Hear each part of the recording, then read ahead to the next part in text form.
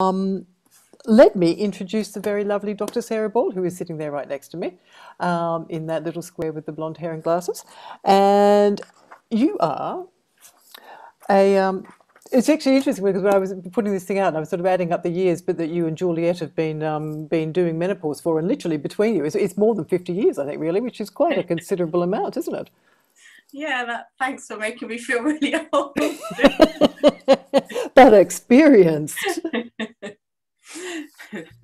Which is what's interesting is that I, when I qualified as a GP, which was 2002, um, I went to the first, my first British Menopause Society conference, which was a real, um, you know, kind of a, a, a, fab weekend away. I think we went to Brighton.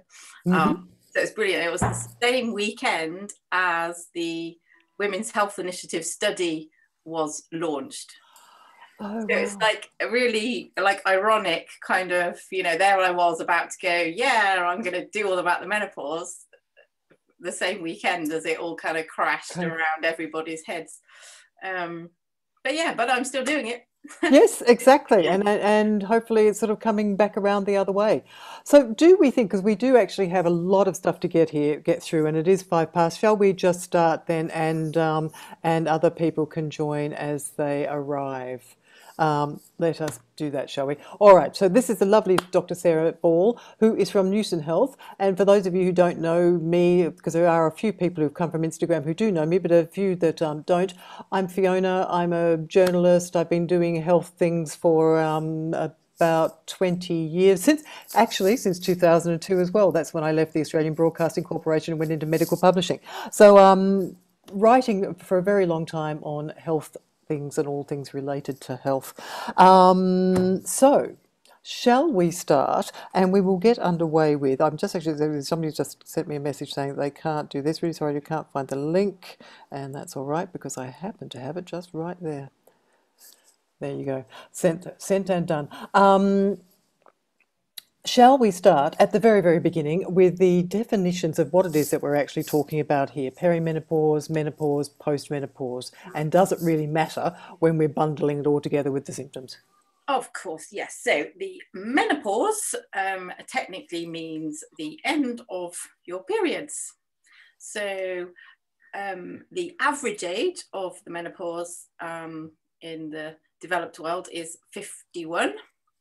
And when we have our last period, we don't actually, we can't call it our last period until we've gone a whole year without a period. So you don't know it at the time, but it's something that you look back on and go, oh, I've now gone a whole year without a period. So that was my menopause. So it's a natural process that um, humans go through. Um, and for most of us, it is something that just is a, is a gradual thing that happens. Um, but that's not always the case. Sometimes it's actually caused um, by more unnatural causes. So if you have your ovaries removed, for example, at the time of um, a hysterectomy, for example, then you'll enter what's called a surgical menopause. That's very sudden type of menopause. Sometimes people enter the menopause um, through treatments for other illnesses, particularly cancer treatments. So, for example, if you have chemotherapy or radiotherapy, that may turn your ovaries off and they may never switch back on again. And the term, the perimenopause, is the lead up to your menopause. So it's when your periods have changed from being their usual completely monthly regular self to something that's just not quite as you remember it. They may be a bit more spaced out. Your periods may be a bit more close together. They might just be a bit more erratic. They might just be a bit heavier. They might be a bit lighter, but they change somehow. And the perimenopause can happen anywhere really between roughly about four and 10 years before you actually get to your last period so it's it's it's a transition phase i guess is, is the right word. And the, the the real crucial importance about the perimenopause is that it creeps up on you because not that many of us are perhaps that in tune with our periods and we're very busy doing other things. And we might not notice that our periods have subtly changed but we will usually start to experience some symptoms which often go either unnoticed or put down to other things or ignored. Um, and they can be um, quite disastrous con consequences of that, whether that's in your um, personal life with relationships or your professional life. So it's really important that women know that they don't have to wait for their last period to say, I'm menopausal, now I need to do something. It's a case of be prepared well in advance. And then post menopause just basically applies to the whole of the rest of our life after we've experienced our last period. So if I experienced my last period when I was 51, then from um, the rest of my life from then on, I am postmenopausal. So it's very important that women don't think of the menopause as something you go through because you don't actually come out the other side. You actually go into the menopause and you essentially stay in it. You may or may not have the symptoms for all that time, but your body has essentially changed into a postmenopausal woman, and therefore it's something to consider for the rest of your life. Absolutely, yes, yes, and it's um, it can be quite a long life, but we will come back to that and why uh, why why it's important to think about what we do today about how it affects what we're going to be like in forty years' time. But you mentioned there, you know, the periods being one symptom, and of course, I mean, I've, you know, from me, I didn't really have any period changes until literally about three months before they mm-hmm. stopped completely, and that was that. But there are a myriad of other changes, aren't there, that we should be looking about? Shall we run through them in, in their sort of in classes? Will we start with the vasomotor? Yeah, so I, what I tend to do is I tend to do the three sort of groups of symptoms. There's the sort of the physical ones, there's the psychological ones, and then there's the sort of sexual ones, which I think kind of makes it a bit easier to remember. So physically, and the, the most common one that most people have heard of is hot sweats and flushes. And they are common, they do affect probably about between 70 and 80% of us will have some hot sweats and flushes at some point. But that maths means that about one in five women will never have a hot sweat or flush. So um, that doesn't mean you can't be struggling in lots of other ways. Um, and hot sweats and flushes can be can be dreadful, they can be okay, and they can be not much of a problem. Um, but it is really important that women know that they don't have to be tolerated, that they can be dealt with, and it's not actually a good idea to put up with hot sweats and flushes. Um, but there's lots of other physical symptoms that often people don't ever think about as being related to hormones. So things like um, headaches are more common in the perimenopause and about normally actually more common in the perimenopause than the menopause, and that's usually due to with fluctuating hormones. Things like muscle aches and pains, um, general fatigue. Uh, fatigue is probably one of the commonest symptoms. I've yet to meet a menopausal woman who's not treated who says, "Yeah, I've got bags of energy." Um, sleep goes completely out the window. The actual control of our sleep-wake cycle gets um, uh, affected by low estrogen levels in our brain. So we tend to wake through the night. Um, we often itch all over because our skin starts to dry out.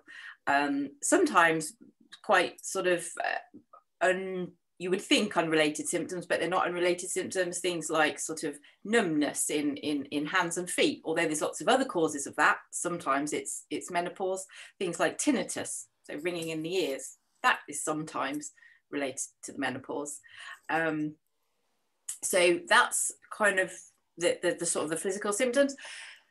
The psychological symptoms are often, um, I think, one of the sort of secret weapons of, of the, the menopause in terms of um, maybe slightly more difficult to talk about than the physical symptoms and very often overlooked or blamed on something else, usually stress or, or um, all the things that a lot of women the age of the menopause are trying to juggle at the time. So anxiety is hugely common. Um, so people that usually breeze through life have never really worried about anything, suddenly worrying about either very specific things or, or, very general things. So, you know, might have a woman who says, well, I usually have to do lectures for work and suddenly I'm really worrying about it or i don't want to drive on a motorway because i'm suddenly worrying and that was never a problem before just low mood sort of flat mood um, lack of joy just feeling like well my life is good. I seem to have everything I need. I've achieved what I wanted to do, but I'm just not enjoying it. Why is that? And that's often related to low estrogen levels. Um, things like sort of paranoia, um, low self esteem, low confidence, just feeling generally not as good as you should be, you know, sort of that imposter syndrome sort of creeps in. Um, and it can be that you may previously have had psychological illness, anxiety or depression, um, and it, it's quite common for it to come back around the menopause, but you may have never struggled at all, and then you're suddenly not feeling at all yourself. Um, and so psychological symptoms are really, really important to recognize um, because if you don't recognize it yourself and make the link that this could be your hormones, it's highly unlikely anybody else will. Um, Which I guess is why we see so many women put on antidepressants as opposed to, to getting HRT. Yeah. And then there's the symptoms which very few people ever want to talk about or offer, which is usually um, more sort of uh, sexual um, and sort of genital type symptoms. So often um, dryness or discomfort in the vagina, or even sort of dryness or itching around the vulva, which is like the external genital area, um, which can make sex very painful. It can also cause problems with the waterworks. So we can find ourselves running to the loo in a real hurry and not making it in time, or just having to go really often, or getting lots of bouts of cystitis, getting up at night to wee, or lots of urinary tract infections.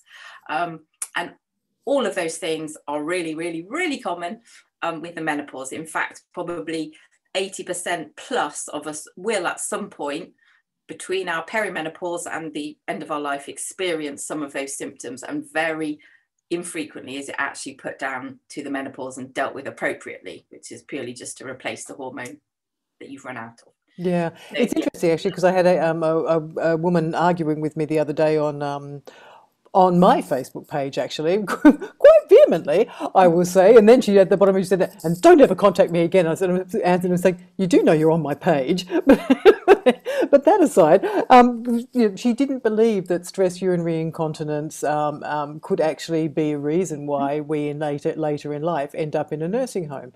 But it is one of the reasons, you know, our inability, incontinence is a major reason for people ending up in a nursing home. Yeah, and we often we'll blame if we've had children we'll often go well you know what do i expect if i've pushed these big babies out? Um, and actually yeah that doesn't help but actually our pelvis is really a big sort of uh, bowl like a sling um, of, of muscles and ligaments um, and, and skin and cartilage and all sorts of elasticy fibers. And without estrogen in them that elastic doesn't work anymore. So um, our, our bladder control is usually far worse. So it's um, yeah, it's really good when we when we see people that maybe don't didn't particularly think that their waterworks was a problem and that they knew treat their other menopausal symptoms. They go, oh, actually, yeah, I haven't been running to the loo. Um, so it's yeah, it's it's really important that we talk about these things. It's women have been sort of um, made to put up and shut up for too long. And actually uh, most of their symptoms are completely dealable with if somebody recognizes them and that is the issue, really, isn't it? I know we've, talked about this before, this joining of the dots. And I guess, you know, a lot of, you see again and again and again, you know, pe- people saying, my GP didn't notice this or whatever it is. But it, I guess in a 10 minute consultation, it is extremely hard to know that all of these 15 things may actually be related to one. So is there a tool that, that women can take with them or um, uh, like the climacteric sheet or something that they can fill in and go in there and say, look, these are my symptoms. This could they be related? So, so, back in, I think it was the 1970s, there was a, a questionnaire, um, a very simple questionnaire called the Green Climacteric Score that was developed. Um, we've actually adapted it slightly, so it's on our um, the Menopause Doctor website, and if you type questionnaire into the search box, it comes up. So we've adapted it because it didn't used to have uh, urinary or vaginal symptoms on there, which again is probably hardly surprising because women were never encouraged to talk about those things, but actually they are one of the commonest symptoms. So, um, yeah, so it's really useful. Uh, yes, you know, GP, the life of a GP is extremely difficult, and actually, um, 10 minutes is is insufficient for many many many things and the menopause is at the top of that list i would say so the more help you can give your gp in if you've joined the dots it's a lot harder to assist the gp to join the dots and that's a very easy questionnaire to use tick just tick some boxes um, and um, it will help focus yeah, exactly.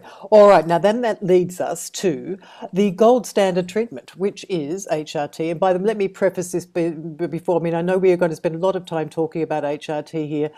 I am not here to say you should be on HRT, but I really do want you to have informed enough information to have an informed choice about whether or not you do or you don't want to take it. So the gold standard treatment is HRT. So what exactly is it, Sarah, and um, and how does it work? And sorry, and just a question in the chat from Dawn Tati. Yep. Could my 84 year old mom who has constant UTIs and incontinence be helped by hormone replacement therapy? Okay. Yes, almost certainly. Um, certainly, um, I mean, we'll talk about the different types of, of, hormones, but there's essentially two different types. There's what we call systemic HRT, which means the hormones are shared around your whole body. Um, and then there's what we call localized HRT, which is where the estrogen is just used in the vagina for the purpose of the vagina and the bladder. So for much older women, um, the localized estrogen is usually extremely successful um, and really carries no risks at all. So yes, it's, it's a very common thing to do with older ladies. Um, but yes, yeah, so HRT is um, stands for hormone replacement therapy, and so it's very. Um, a lot of people think why why are we just saying why is Fiona just instantly said well you know that the best thing to use is is HRT and it's really that it is the most natural thing to use HRT because it is just a replacement of your own hormones so in the same way as if you had an underactive thyroid gland you would be given thyroxine which is the, the hormone that your thyroid has stopped making and if you were diabetic, you would be given hormones to replace the hormones that you were no longer making. So actually HRT is, is simply a replacement for your own hormones. Um, so it is by far the most successful treatment for all of the symptoms. Um, but it also, because it's it is actually replacing what you've lost rather than just dealing with the symptoms in an indirect way, it helps not only your current symptoms, but it also helps your future health. And so the menopause very much is like a, a halfway reevaluation of your life and your health. And we know that without estrogen, we are more prone as women to develop heart disease and osteoporosis and dementia. And if we replace our hormones, then we will give ourselves a protective benefit from those things. So that's why HRT should be considered first line for the symptoms of the menopause. Um, but that's not to say there aren't other options. And certainly we should be very mindful of our lifestyle in general and thinking very carefully about what we're eating, about whether we're sleeping or not, about how much exercise we're doing, about whether we do sort of relaxation. Um, so all those things are very important, but without the hormones that we no longer make, we will struggle to get the best improvement. Yeah. And now, speaking of, of HRT, then, and going back to 2002 when you first started out at your first British Menopause Society conference, um, what do we know about its safety? Because there obviously has been a lot of controversy that makes people very reluctant and reticent to even countenance it as a treatment.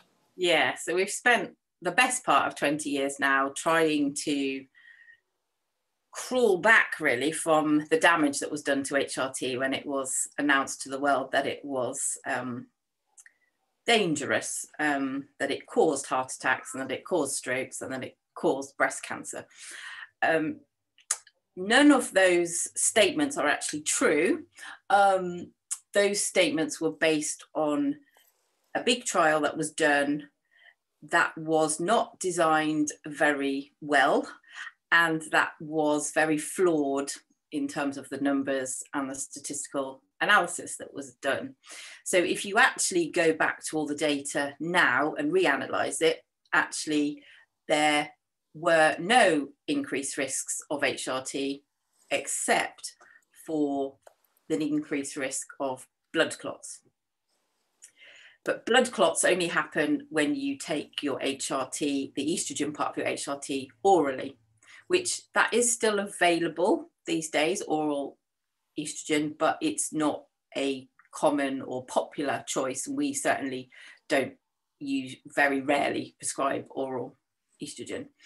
Um, so the study that was done was based on older fashioned HRT.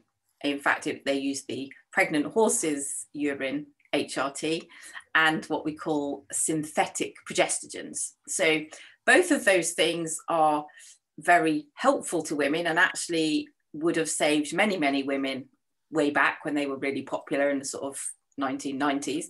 But we have very much superseded them now. And so even if that study had actually correctly proven there was any risks, we still it still wouldn't apply to today because we've got safer HRT. But actually, the, the, the numbers were wrong anyway, and it actually still showed far more benefits than risks anyway. But we now very much use what we call body identical HRT. So rather than the HRT coming from pregnant horses we or or, or uh, made synthetically, we now, the best type of HRT available comes from plants, it comes from the yam plant, um, and it is molecularly identical to what our ovaries make naturally anyway. So it's actually a class of its own, really, and it's a much safer class, and it really is a top up to what your body used to make. So, in the same way as you would take your car to the petrol station and fill up when you're running low, it's really no different if you use body identical HRT. So not only do you get improvement in symptoms, but you also get the future health benefits as well. And coincidentally, I have this nice little chart here which um, runs through the risks of, um, of HRT with the modern types, and it's probably very hard for you to, to see it, so I shall I'll read it for you if you wish. Um, so this is from the Women's Health Concern, which is the patient arm of the British Menopause Society, and what it talks about is the difference in breast cancer incidence per 1,000 women aged between 50 to 59, and so normally they say out of 1,000 women of that age group, there will be 23 cases of breast cancer. Um, if you were on combined hormone replacement therapy, they would expect an additional four cases of breast cancer. There would be four fewer cases if you were having estrogen only, which is extremely interesting. Um, which, of course, not every woman can have estrogen only because if you have a womb, you have to have the progesterone. progesterone. Um, if you have the combined contraceptive pill, there'll be four extra cases, but nobody seems to worry about that so much. Um, if you drink two or more units of alcohol a day, there'll be five extra cases. Um, if you are a smoker, there'll be three extra ones. If you are overweight with a BMI greater than 30, there will be 24 extra cases. So that takes that up to 27 cases, um, for, sorry, 47 cases. Um, and if you do at least two hours or two and a half hours of moderate exercise a week, there will be seven fewer cases. So I guess if you were having estrogen and doing 10, uh, uh two and a half hours worth of exercise a week, um, you'd probably be in, in, a reasonable shape. So I mean, I think that the thing that's really useful about that chart is to just show how the lifestyle factors actually have a considerably larger effect than the um, than the, the the HRT itself. Yeah, and breast cancer is always top of people's list to worry about or a reason why they don't consider HRT. And it is really important to know that um, first of all, the, the the studies that have related a possible increased risk of breast cancer with HRT don't actually imply causation. So, in other words, just because there were a few extra cases of breast cancer in those that took HRT doesn't mean that one caused the other. Um, but actually, all of those studies where there was any association were about the old fashioned types of HRT. And there are plenty of cases where there is definitely no increased risk. So if you're under the age of 50, um, taking HRT, there's no increased risk of breast cancer. Um, and if you're using estrogen on its own because you've had a hysterectomy, there is no increased risk of breast cancer in case, in fact, the risk actually goes down a bit. And if you stick to body identical HRT, there is no study that shows an increase in the risk of breast cancer. So it's trying to reassure women that unfortunately breast cancer is very common for us women. About between one in seven and one in eight of us will get it at some point in our lives. But most of our risk comes down to our lifestyle and the, the biggest things that we could do as women to um, mitigate that is to keep our weight down by eating well and exercising and trying to avoid too much alcohol um, that is where the big wins come in. Yep, lockdown's done been really good for those, haven't they? Hasn't it? So much extra exercise and so much less alcohol. Yes, of course. Um, now we're all in, the other thing that's important about this, isn't it? When it comes to, I mean, you mentioned before that we're, you know, we're now living 30, 40, perhaps even 50 years as menopausal women. How important is the HRT then to our long term health? What does it do in terms of our bones, our brain, um, and our heart? Yeah, it does everything. Um, it's if we start with the sort of blood vessels, it's really protective of our blood vessels. So it helps with things like keeping our cholesterol um, down. It helps with blood pressure control. It helps with our metabolism of how, how we, we process sugar through our body, for example. So um, it can very much protect our blood vessels from starting to form plaques, and therefore that has a big knock on effect on our risk of heart disease and strokes. Um, it's really good at helping us to remodel our bones better. So our bones are constantly undergoing, um, a, they're building up and they're breaking down in a, in a cycle. But if we can make the building up process greater than the breaking down, we're going to actually build bone. So it's really important for that. And osteoporosis always sounds like a little bit of a, uh, maybe a, uh, something that most women don't think of at the sort of age that we're currently at because it seems a long way off. Um, you know, if, if, most fractured hips occurs in, in women in their 70s, and that seems a long way off, but actually we want to prevent that, and it's far better done. We lose most of our bone density in the five years after our menopause. So if we can get in there and prevent it, that's really helpful. And our brains are we have estrogen receptors everywhere in our body and the brain is no exception. And there would appear to be um, increasing amounts of research and data showing that the process whereby women develop dementia actually starts usually in our mid to late 40s it can take 20 30 years to start to show itself but if again, prevention is better than cure. So if we can get some estrogen back in our brain before it's been um, devoid of estrogen for too long, that would seem to be a protective thing to do. We also know that um, replacing our estrogen helps to reduce our future risk of diabetes and arthritis, um, and also uh, replacing estrogen helps to reduce obesity, which then has a big knock on effect on lots of other disease processes and it will help to prevent prevent all those bladder and, and vaginal problems which are so common after the menopause yeah, that's true. And the um, a couple, couple of interesting things out of there with the bones as well. You know, yes, thinking that our fractures are going to be, you know, 20, 30 years down the track. Um, but again, this is another one of those things that actually is a major reason why we end up in nursing homes because we break our hips. And I think it was you and I who were discussing this before that I think it's up to I think 70% of people who have a hip replacement um, operation don't live beyond the first year after that hip replacement operation. And that's, that's a really frightening statistic. So you just really do not want to be going there. Um, so, I mean, I guess the important things about that, apart from HRT, is also that to keep doing weight bearing exercise. Yep, yeah, it's having plenty of calcium in your diet. It's making sure that you have some vitamin D supplements because we don't get enough of that in our diet. And, um, and to keep doing weight bearing exercise, to keep alcohol and smoking to a minimum um, and try and keep our weight good. But the the driving force, the driving fuel, is the estrogen that's sort of coordinating all of that. Yeah, and I know we will um, we will t- touch on this with, with Juliet later on about you know how long you can and you can't stay on HRT.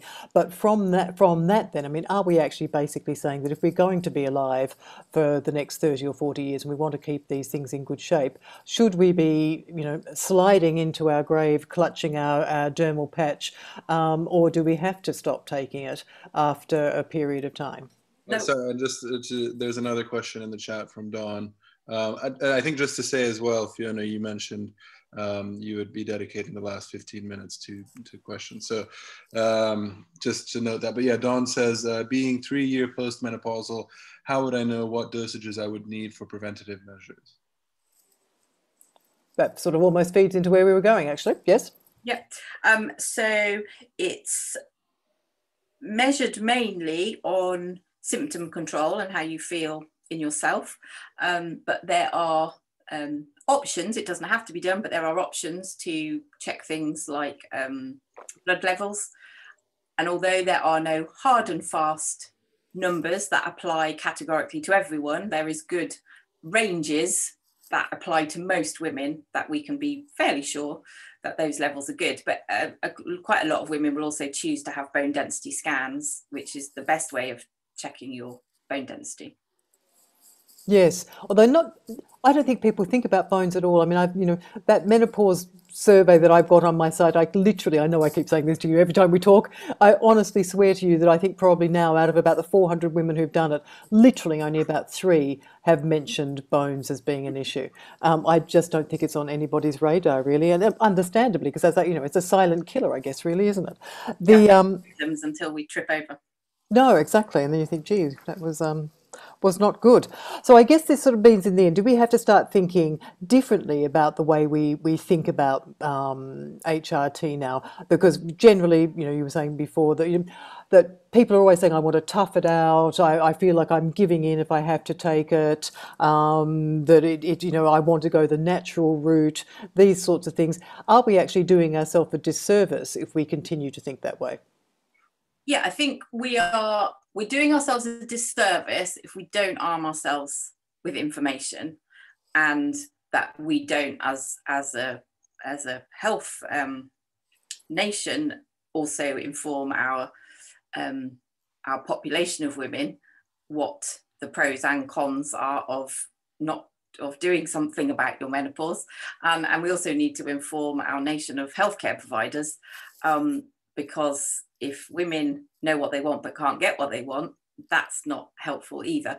It's really trying to you know i like you fiona i'm not advocating that hrt is absolutely perfect and should be taken by every woman on the planet because that's not the case. But every woman needs to know that she has that option and what the pros and cons of that for her are. So every woman really should have a plan of action and a consultation really in the lead up to the menopause just to get her um, her options out on the table and what's pertinent to her what's the most important things to her what she is worried about.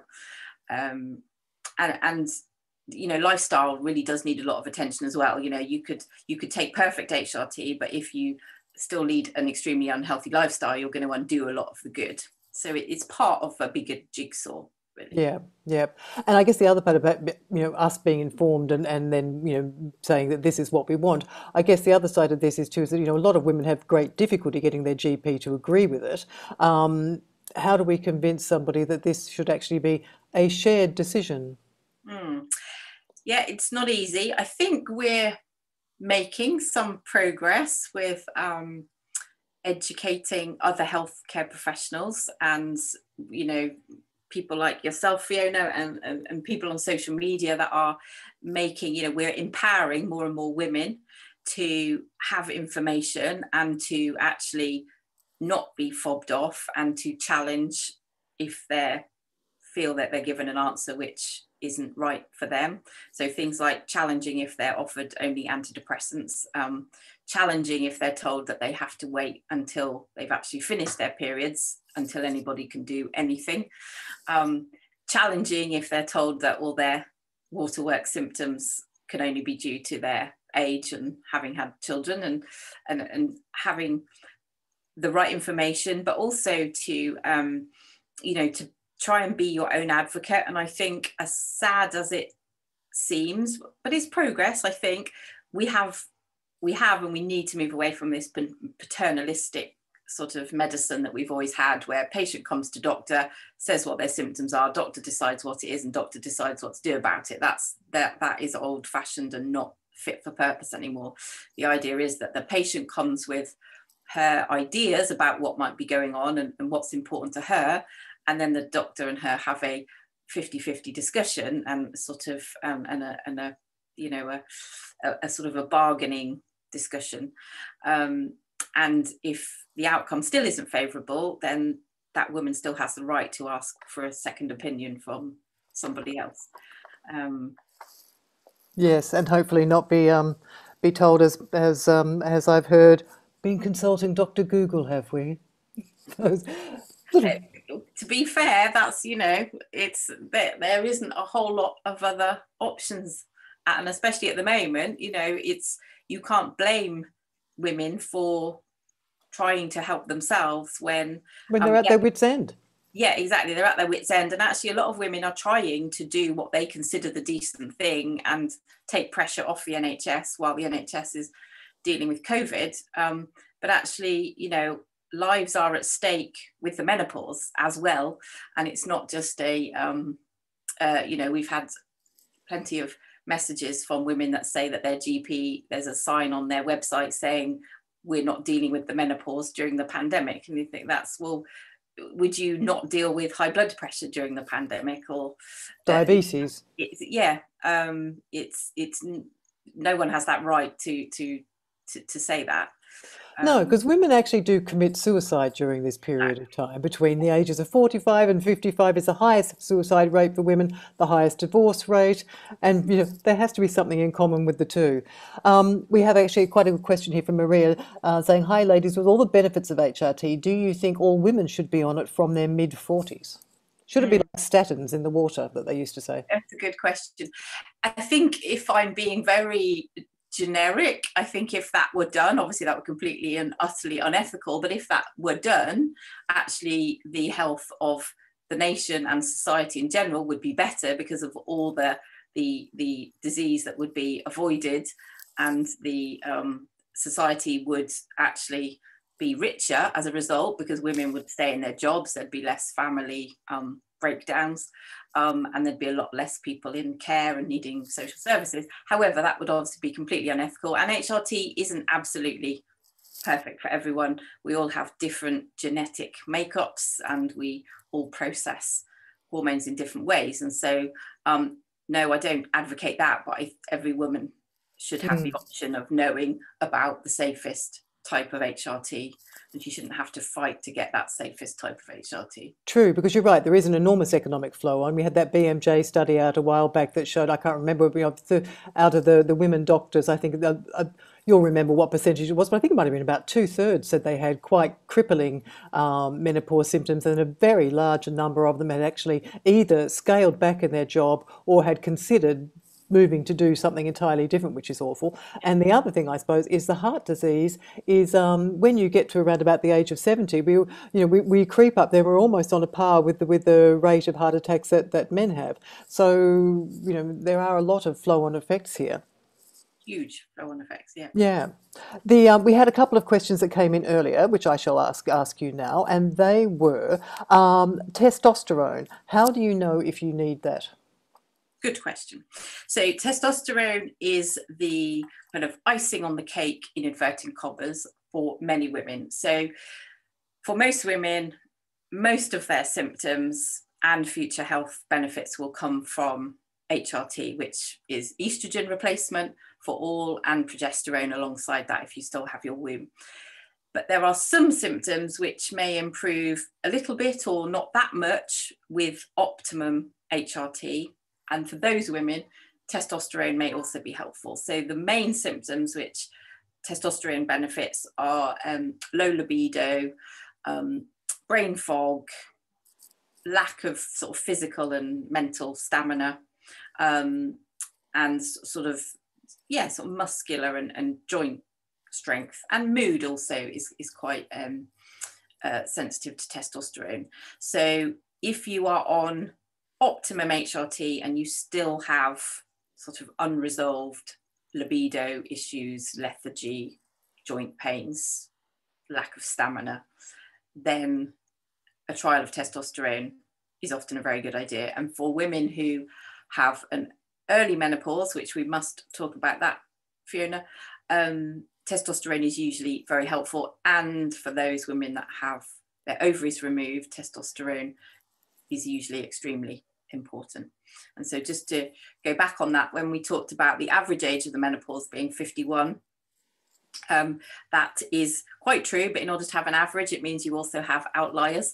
So um, one in 100 women will actually experience their menopause before the age of 40, and one in a thousand women will experience it below the age of 30, and one in 10,000 will experience it below the age of 20. So that is small numbers, but you know, one in a hundred actually is, is a is a lot of women, and it's it's important for all women to be aware of their menopause and to tackle it. But for those younger women it's even more crucial because the longer you are you go without hormones the greater the risks for the future.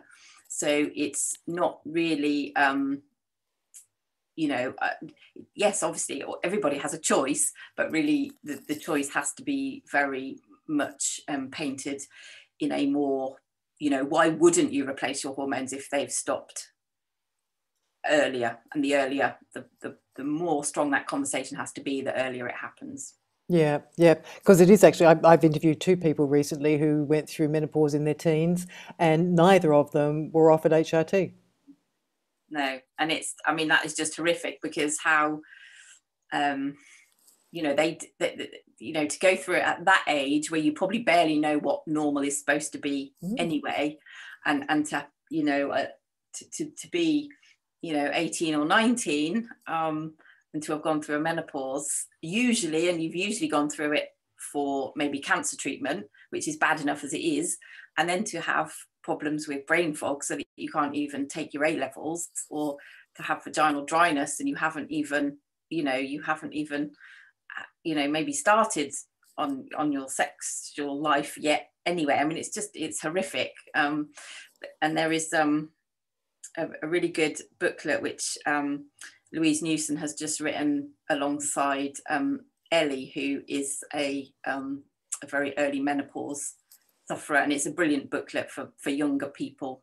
Um, tackling all those areas. Yeah, because that really is just just some awful stories out there. We have a question here from Victoria.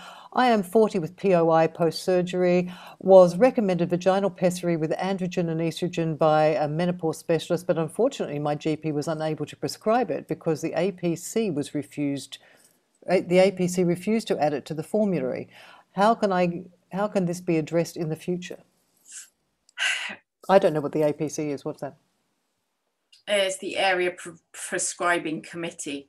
Um, and it's really difficult with these this sort of political wrangling that you get because it's very geographically random. Some areas are good, some aren't good. Um, and I think, you know, I mean, it's it's it's incomprehensible really that someone that has run out of hormones, especially prematurely, mm all you're asking is is to have those replaced and to not have those replaced is completely you know it's just not you know makes absolutely no sense at all.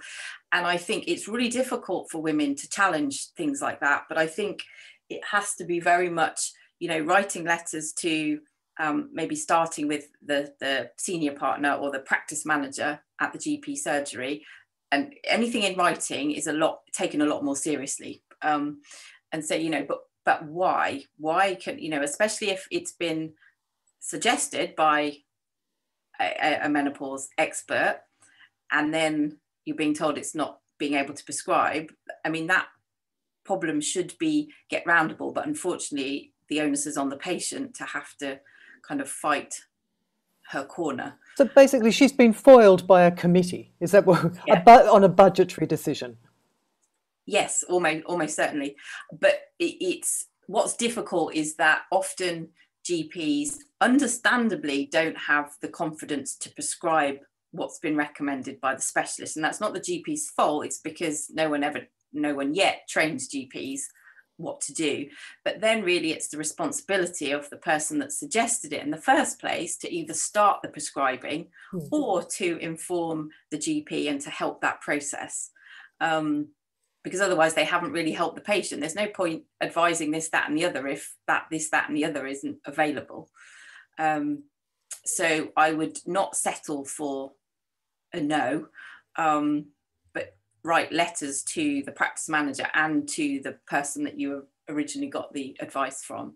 Um, yes, and I would I'd be going further than that. If I got no joy out of that, I'd be going to my local MP. I think I'd be I'd yeah. be upping that one because that's an outrageous decision where where a group of people who don't even know you and your circumstances are making decisions about your health. That is um that makes my blood boil. Speaking of blood boiling. It's not like this is expensive, you know, treatment. It's hmm. It actually goes. There was another question actually that I had earlier from somebody who said that um, she, she, sent, she sent me a message yesterday. The poor thing saying, my GP told me when I wanted, um, you know, when she said that she would prescribe Sandrena for me, but um, the maximum amount that she would give me was one milligram because she told me that that was all I was allowed to have. And it was, I said, no, no, you can have more than that. I mean, obviously there must be some budgetary decision or something, either poorly informed or a bad budgetary decision or whatever it was. But it was like, no, you go back there and you say, no, this is what the guidelines say. Um, yes. Anyway, there you go. Moving on, there was one question here that was actually a good one as well. If you've if you've recently started HRT um, and you're still having symptomatic fluctuations or things aren't settling properly, how do you like? Let's say you've got sore. What did she ask? She asked about sore boobs. You're still having hot um, hot flushes and sweats and things like that. Do you adjust the dose or does it settle over time? How do you manage those symptoms if they're not quite resolving? Yeah, so it's whenever we start HRT, it's always a bit of a, uh, can be a bumpy journey to start with. Sometimes it's very smooth and easy, um, but it can be a bit bumpy, especially if we're starting two hormones at once. We need them to sort of balance each other out. So we usually try and give three months initially just to see where things are at. And some women do say, well, the first month was was not great. Second month was all right. Third month, oh, I'm fine now. Thank you very much. So sometimes it's just a bit of time that's needed. But essentially, HRT involving estrogen and progesterone is a bit of a balancing act. So if you think of a seesaw, we're trying to get both ends of the seesaw about even. And that can be very quickly done in some women, but in some women, they're all they're, they favor tilting one way or the other. So we have to try and overcome that, which we can in time. Um, so it's that's why it's really important, and that's why the NICE menopause guidelines say that everyone should have a review after three months of starting HRT, and then three monthly until things are settled and stable. Then you can go to just a yearly follow up. So it may be um, that if she still has symptoms of hot flushes, for example, that probably means that the estrogen dose isn't yet right and probably needs to go a bit higher. Um, and if the, the breasts are tender, that can be due to both of the hormones, believe it or not. It can be that the estrogen or the progesterone is a little bit um, uh, causing a bit of problem. So it's a bit of a juggling act, but it, it can be done. All right. Does anybody else have any other questions? And while you're thinking about them, I'll just ask another um, question that, that somebody was asking before as well. And that was about, um, I tried to answer it in my little video earlier this afternoon, so you can you can have a good laugh at my at my hormones running in a, in a wheel. But um, a lot of women, to, to find out, you know, they say, I've gone for months without having a period. I've gone nine months, and all of a sudden, there it is what's going on? Why does that happen? So um so why does that happen? Just when you think oh yes i'm coming to the end. It's a bit like um you know the ovaries some of them a bit like you described earlier fiona work really really well really really well really really well and then one day just decide now we've had enough now and we're we're out of here. And so you have a very kind of short perimenopause if at all. It's all just done and dusted. Some are the ovaries are kind of switching on and switching off for years on end.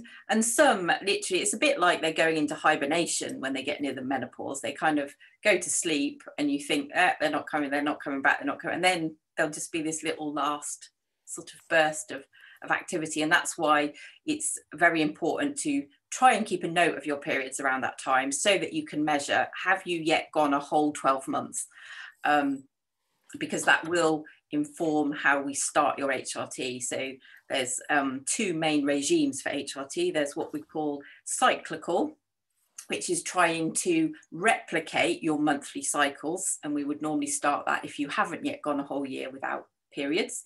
So we're actually trying to give you a bleed every month.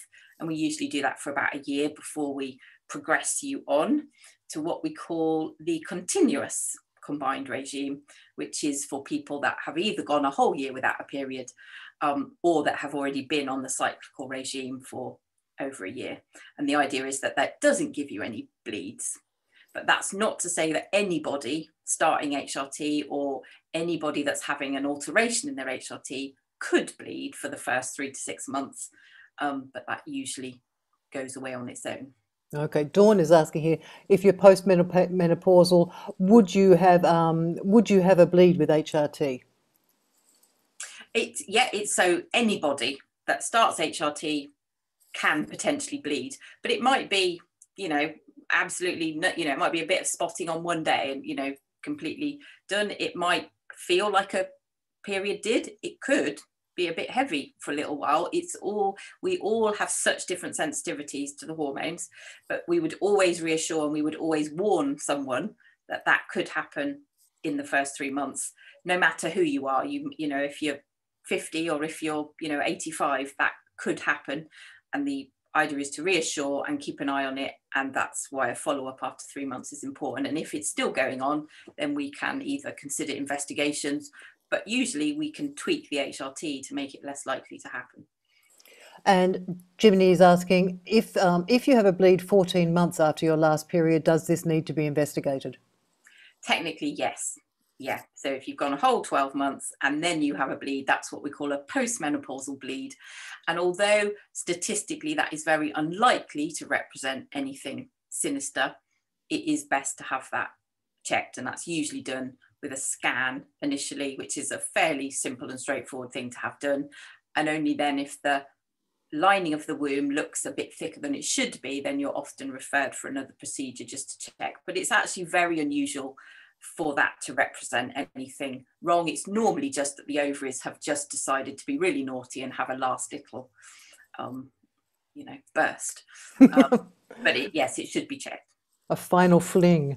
The um, all right. So we've got four minutes before we start with Juliet. Are there any more questions? Do you all want to run away and, and grab a cup of tea, um, have a pee, do whatever it is that you need to do within within the next four minutes? And shall we leave? Let Sarah go, or do you have a final question or so? To, uh, question or so to throw at her? Speaking to me. Speaking to me. Speaking to me.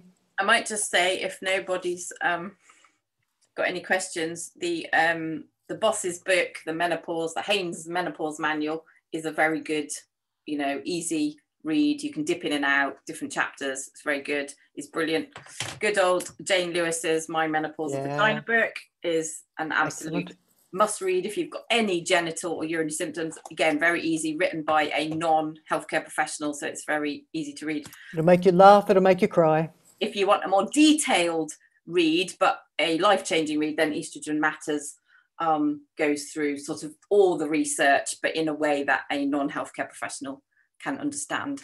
So, for anybody that wants um, some reading material, they're my three recommendations. Exactly, and going back to um, to the author of that book, I think um, the he's basically and um, he's the quote that everybody seems to be sort of putting around on, on instant media out of interviews that have been done with him is basically no man would put up with this and be, you know, being told it's just this is just the way it is for you. Go away, put up with it, stop whinging. No man would put up with that, and that came from the man who wrote that book. So, and um, society um, wouldn't put up with it either. We wouldn't, you know, we just let women leave their jobs and let their families fall apart, and we just sort of, you know, roll our eyes and go, oh well, you know, what do we expect? They're at that age, and that is just no way, you know, that is no way to, to to carry on. Um, you know, if you take a, a man's testicles out or you um, stop his testicles working, he will not function properly. He will not be able to work and he won't be able to get out of bed either. And yet we just, women just are supposed to struggle on. Um, but no more. no, no, no more. It makes no sense. Brilliant. my son, I think my son is saying, please don't take his testicles away. Um, I've got a teaspoon here. no, thank you.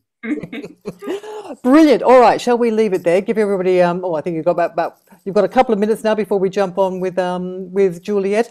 Thank you, Sarah. That was really lovely. Um, much appreciated for your time again, and um, I guess we'll see you very very soon. Nice to everyone. So I have to go. I have to cook for my children before they report me to social services. But Excellent. All right. Take care. And I'm just hoping that Juliet is actually here. yes, I can see Juliet. Can you? Yes. I can't. Where are you, Juliet? Speak to me. Is she on Ah, another there she for you? There you go. Okay. I, All right. I will love you and leave you. Good luck, everybody. Take care. Thank you. Bye. Bye.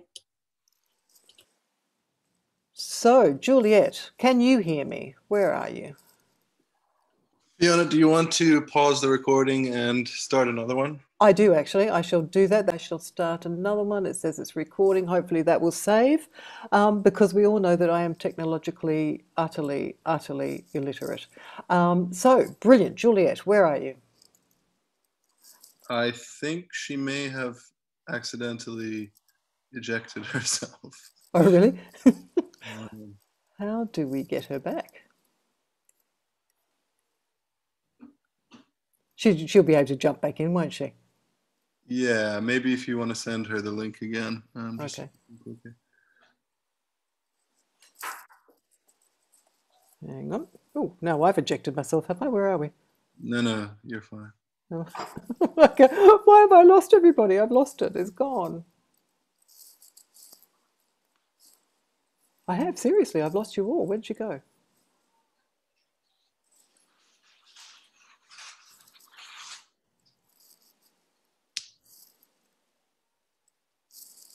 Where's my meeting gone? Hang on. Yes, she is saying send me the link again.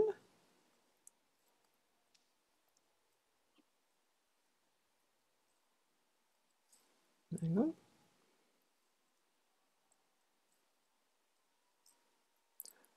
Uh, where is it?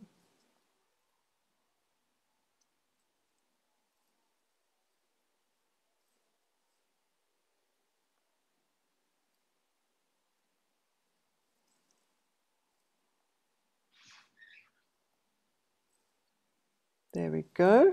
That should hopefully be done. She should be back in a second. And now I've just got to find the page again. Why have I lost you? Click the uh, F3 thing and go up to the top. It might be in another, um, a separate desktop. Or maybe If you if you put it full screen. got a Zoom login. There you are. Yep, got you. I'm glad you know what you're doing. One of us needs to. So brilliant. All right. Hopefully Juliet will pop back in. I think she popped in as me. Yeah, she's got my name now. She's got your name. That's very strange. Anyway, That's all right. As long as, we, as, long as I I'm can see. Are you? Are you? Good, good. Apparently you are my son. Ah, there you are. Yes, you are. Yep, you have um you have my son's name. There you go. Ah, I think it was my login, so that's that's probably why. Anyway, that's Yep. fine. That's all right, as long as we can see you. So, everybody, this is the lo- although it says it has my son's name there of Alex Bodashev, this is the lovely Juliet Balfour, who is a menopause doctor at the Wells Clinic in um, Somerset, which is lovely. And you have been doing this for 30 years or so, which is quite some time. that's like people can work out how old I am, which is a bit sad. oh well, we- we're all there with you, I think.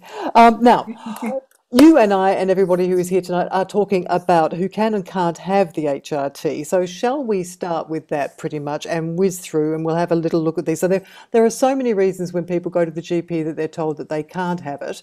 Um, so, will we just quickly run through those and um, and yay or nay them as we go? One of the top ones is. Um, High blood pressure. Can you have HRT if you have high blood pressure? You can. Um, it, the important thing is to work out why you've got high blood pressure and, and manage it. Um, but I think, as Sarah said, estrogen through the skin does not raise your blood pressure anymore, um, and in fact can lower it. And I think it, it all came back from, from when, when you're on the combined pill. The synthetic estrogen on the combined pill can raise your blood pressure, and that's why you got a bit worried about people on the pill and blood pressure, and it's sort of transferred to HRT. But no, transdermal estrogen through the skin is actually fine for people with high blood pressure. And if they feel better and more motivated on HRT, they're more likely to lose weight and eat more healthily and, and exercise more and actually bring their blood pressure down by, by lifestyle means as, as well as medication. That is good to know. Migraines, as you say here, or migraines, as we say down under. Can you have HRT mm-hmm. if you have migraines? You can. And again, this is another left thing that people get confused with the combined pill because if you have bad, I say migraine too. If you have bad migraine, um, yeah, I do. Um, you're not meant to have the combined pill. Um, but um, migraines love changes and, and they often get worse in the perimenopause and menopause when the estrogen levels are changing all the time. And a lot of women get their first migraines or get much worse migraines around the time of the menopause. So HRT is actually good treatment for that. If you can level estrogen, um, give a nice steady dose of estrogen, a lot of women's migraines are improved and it is quite safe, again, as long as it's estrogen through the skin. Um, and, and that's with migraine with aura as well, isn't it? Because this is the, this, yes, the, the aura one is the one that they particularly pick up on absolutely. Migraine with aura, you cannot have the combined pill at all, but you certainly can, as long you wouldn't give estrogen tablets to anybody with migraine, but you can certainly with the with the transdermal. And the, the patches are particularly good for migraine because they do produce such a steady dose. Um, gel can be good, but some people, if people are very sensitive to the slight fluctuations you daily fluctuations you get with the gel, um, then patches are the, are the, best because they produce a lovely steady dose. And I always warn women that uh, when they start HRT or if they change the dose, they might get a migraine just because it's a change in level, but then it should steady out and then hopefully the migraines will be a lot better. So yes, it's it's a treatment for migraine, let alone a, not allowed to have it. Very good. Um, now, the other thing that people are often told as well is that they're too old or they're too young. Are there are there mm. cut-off dates on either end of that spectrum? There aren't. So the, the too young is really important. And, and Sarah touched on the on the under 40s, which um, it is absolutely vital that they get diagnosed and get um, replacement estrogen for their long-term health. Um, so that's a very, very important group. Um, and then the women with an early menopause, which is below 45, again, it's very important that they they get HRT for their long-term health. Um, but they're often they may be having regular periods, fairly regular periods, and that's where GPs get a bit confused and muddled and think, oh, you're having regular periods, your symptoms can't be due to the menopause, which we know is not true. You can get awful lot of symptoms but still be having fairly regular periods. Um, so and, and the great thing about with hrt is if you think gosh this all sounds perimenopausal you can give people a trial of hrt and if it if it helps if it knocks off all the symptoms you know you're on, on the right track. Um, but i know it's it can be very difficult for women to, to get get their doctors to to give them HRT when, when they're younger and they're still having periods. So that's a, a good time to fill in one of these symptom checkers and, and so write down all the perimenopausal symptoms you're getting and show it to the doctor and, and hopefully make your case that, that you want a trial of HRT. Um, older women, so that older women is a really interesting one because we've got lots of women who were on HRT and were told to stop it. Mm. Some some people say, oh, you can only be it on for be on HRT for five years, which is not true, or you have to stop HRT at the age of 60, and, and that's not true either. Um, and in fact, if you're on HRT, it's much better just to keep on going it with it rather than stopping and starting if possible. But if you have been told you can't have, you, you had to stop it and you're getting lots of symptoms, you want to go back on it, you can. Um, but there is always the proviso that you need to have the estrogen through the skin. So menopause doctors are very keen on estrogen the skin just because it takes away so many of the, the risk factors that, that uh, might mean that some people shouldn't have HRT. So estrogen through the skin is fine. Um, there used to be a worry that if you hadn't been on HRT um, and you were either over 60 or your last period was at least 10 years ago, there was a worry that you'd miss that, what we call window of opportunity for the benefits of HRT um, the cardiovascular ben- benefits particularly. Um, and then there was also worry that if you started HR, HRT too late, you might actually cause heart problems. If someone's already developed some um, sort of um, uh, inelasticity of the blood vessels and developed some plaques in the blood vessels, there's a worry that starting HRT at an older age could precipitate a plaque causing a heart attack or stroke or something like that. But the studies show that that's not the case. As long again as you have estrogen through the skin, it's getting boring, isn't it? I'm saying the same thing again again. Um, as long as you had estrogen through the skin, and with older ladies, we do start with a much lower dose and start very slowly and build up. Um, and it's always we look at everybody's an individual and we look at all their risk factors and see if they've got very high risk factors for heart disease. You know, you, you'll start a tiny dose and go very, very, very slowly. But it's it's not a complete no. Um, and you're still, whatever age you start HRT, you're going to get the benefit for the bones. Uh, and if you're still getting symptoms, you're going to get the symptom benefit. So, um, so it's the, the risk benefit changes as you get older and older, and you know, and then it's an individual decision. But uh, lots of people can can go on it at an older age. And if you are older and you've been on it for a period of time, do you have to start tapering off, or can you just keep on taking? If, if you're happy with what you were on, do you just keep on going? I think if you want to stay on it nowadays, as long as it's through the skin, um, you can. Yes, you can. I mean, a lot of women are saying they, they don't want, to ever stop it because of the long-term health benefits. Um, and you can go really quite low um, for the for the bone protection. You you um, very low doses of HRT will actually protect the bones as you get older. So um, you know, we'd often reduce the dose. You know, if you as you get into your late 60s, seven, early 70s, you don't need such a high dose, but it will still protect your bones. So you can carry on if you, as long as your GP is happy to to give it to you, and hopefully, hopefully GPs will do more education and be more aware aware of this as, as time goes on. Why why don't we need as much as we get older? I mean, what what why would we? I mean, if, if we're sort of if we're happy on our two sachets a day or whatever, why would or two pumps a day or whatever, why would we um why would we taper off? Why well, don't why do we not need it? Yeah, hopefully it depends. Obviously, you've got your symptom control. So at some point, all those menopause symptoms w- would have naturally would have gone.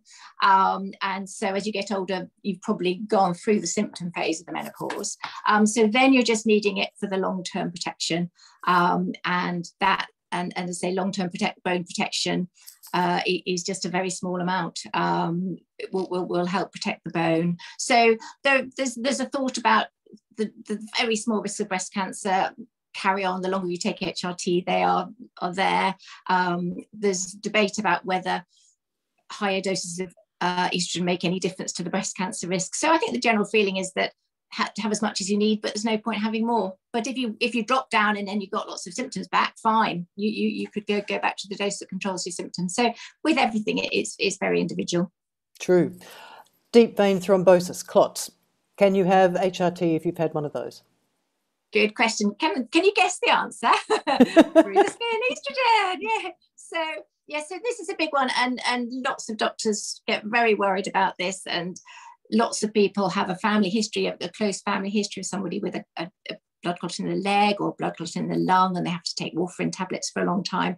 And if, if, if someone's got a close relative of that, we used to worry about HRT. And again, if someone has got a, a there's various inherited blood clotting problems like factor five Leiden and things like that. Um, and we used to think, oh, no, you certainly can't have HRT. And I'm guilty of telling patients, you know, 10 years ago, no, you can't ever have HRT, you know, because that was the feeling then. But all the evidence now is very much that if you take estrogen through the skin, that does not increase your risk. And if you have the body identical progesterone, um, again, that has no increased risk compared to your background risk. So if someone's had a clot before, they've still got a, they've got a risk of having a, a clot again. Unfortunately, if someone's overweight, that increases their risk. There's various other things that increase risk, but adding as long as it's the body identical HRT doesn't increase the, the risk anymore. If someone's got a very complicated family history and an awful history of lots of blood clots, you know, the menopause specialist will probably talk to the hematologist as well and just check about it. Um, and quite a lot of people with a worrying history actually on, on a blood thinner anyway, and then there's no worry because they were on a blood thinner. But most women who've had a blood clot or have a, a problem, yes, can have HRT. All righty. Um, the other thing then, diabetes. Can you have HRT if you have diabetes? Absolutely. And, and diabetes, I mean, it, diabetes is, is type 2 diabetes we're talking about, presumably, is very much something that comes on as we get older. Um, and in fact, the, the, changes at the menopause can make us more prone to getting type 2 diabetes because we have these metabolic changes that make us all put on weight around the middle and reduce our metabolism and reduce our muscle mass. And, and putting on weight around the middle is a, a big risk factor for diabetes. So, so A, uh, HRT can reduce the risk of you developing type 2 diabetes, and B, if you're on it, absolutely no, no uh, increased risk at all. Again, eating through skin, um, but and, and it can help, you know, reduce your blood pressure, and it's good for your cholesterol. So it can help with the other risk factors that with diabetes can make you more at risk of heart attacks and strokes and, and things like that. So absolutely fine. No, fine. Diabetes is not a problem. Kidney and liver problems. So there's, there's not that many completely absolute no's with HRT, but active liver disease is one of them. So if someone has got a, a serious liver disease with abnormal liver function tests on a blood test, um, they shouldn't have HRT. Um, even if it's through the skin? Because I thought that through the skin. Uh, yes, it, even if it's through the skin. Yeah, even if it's for some reason. Yeah, yeah. Again, if someone was desperate, um, that that is one of the absolute contraindications. But if someone was desperate, you would probably write to the liver specialist and find out exactly what was going on and you know what the proposed treatments were. There's a lot of people with minor abnormal uh, liver function tests because they're overweight and they have this thing called a fatty liver. We get fat elsewhere, we get fat in our liver, and we have my slightly abnormal liver function test. That's not a contraindication at all. And in fact, you know, as H as because HRT will help in other health ways, it, it, it actually might be a good thing to be on HRT. Um, kidney disease, no, there's no particular worry about um, kidney disease and, and, and HRT at all. All right. Um, Dawn, I've noted your question there. Um, but I'll just get through this last one of um, reasons why you can and can't have HRT. Cancer. So this is the other, I can't have it because I've got cancer. Does it depend okay, on the type? So it very much depends on the type. So the, the two, well, the, the, the two main, um, well, three, there's three estrogen dependent types of cancer. So some types of breast cancer, um, endometrial cancer, so that's cancer of the lining of the womb, um, and one type of ovarian cancer. It's called uh, endometrioid ovarian cancer. So all the most of the other, most ovarian cancers aren't actually hormone related. Um, so if you if you've got any of those cancers, you wouldn't be able to have HRT in active treatment. It certainly wouldn't be first line uh, with your symptoms. There's other things we can try first, which we talk about. If someone was struggling terribly and was desperate, then HRT would be discussion with your menopause specialist and your oncologist to decide whether the, the risk benefit ratio was was right. But I, I, wouldn't expect any GP to make that decision. It's a, it's a difficult, again, individual decision on that one. Yeah. Um, but there's lots of other cancers, people, gynae cancers that people get told they can't have HRT when they can. So cervical cancer isn't hormonal related, vaginal cancer isn't, vulval cancer isn't. So they wouldn't they wouldn't preclude HRT at all. Um, and often people the treatment for those sort of cancers can um, damage your ovaries so they often do need need um, hrt replacement to help with their symptoms yeah uh, so, and there's lots of other things that people say, oh, malignant melanoma and all sorts of others. But no, there are, there's a lot of misinformation, as usual, about, about cancers and HRT. Very true. Um, Dawn, this is an interesting question from Dawn because they often you, you, see an awful lot of thyroid problems these days, and I, I, somewhere I saw a statistic that said that thyroid problems increase by about twenty percent in women over the age of sixty or something. So, is there can menopause actually have can it trigger a thyroid problem? Not that we know of. It's very common at the same time. Um, absolutely. Um, and in fact, HRT can actually change how you absorb the if you if you've got an underactive thyroid and you're on thyroid medication you sometimes have to adjust the medication when you're on hrt because that can interact a bit um, but i mean if someone had a immune condition that gave them an earlier menopause and also gave them thyroid problems that that's connected. But i don't think there's a direct relationship between between the two otherwise. All right so it's just sort of an, an aging coincidence. Uh, yeah and and and sometimes the symptoms are very similar. So although you don't need blood tests to diagnose the menopause over the age of 45, we will often do check thyroid function um, just to make sure that it's not thyroid instead or as well of as well um, because a lot of the you know the hair thinning and the putting on weight and the not you know and, and all those things are, are, very similar to menopausal symptoms. So it's always something to think about. And if you've got a family history it's also a lot of people have a family history uh, of thyroid problems. So that's worth noting and, and getting checked out. Yes, that's very true. Um, another misconception about these sorts of things is um, is you can't get pregnant when you're on HRT. Yeah, good. That's a good one. So it is not a contraceptive um, unless you have the Mirena. Uh, did Sarah talk about the different types of uh, HRT, like the Mirena and the patch and things like that? No, we're getting to that with you next week. That's okay, your next okay. your next area. But, okay, so so so yeah, so standard HRT through the skin and and, and capsules and tablets are not not um, contraception. So depending on people's circumstances, uh, it has to be considered as well. Um, and one of the options is the Mirena, which we'll talk about. Um, it's particularly important with, with, with young women who have um, premature ovarian insufficiency, actually going on sequential HRT, so that's the type which is estrogen all the time and, and, and just half the month on the progesterone, that can sometimes actually kickstart things a bit and, and increase your chance of pregnancy if that's what you wanted. So um, it's very important if you don't want to get pregnant um, and you're younger that you do do use contraception. So often it's if, if you haven't got the Mirena, it's it's sometimes obviously condoms or whatever, or some people add the mini pill in as well.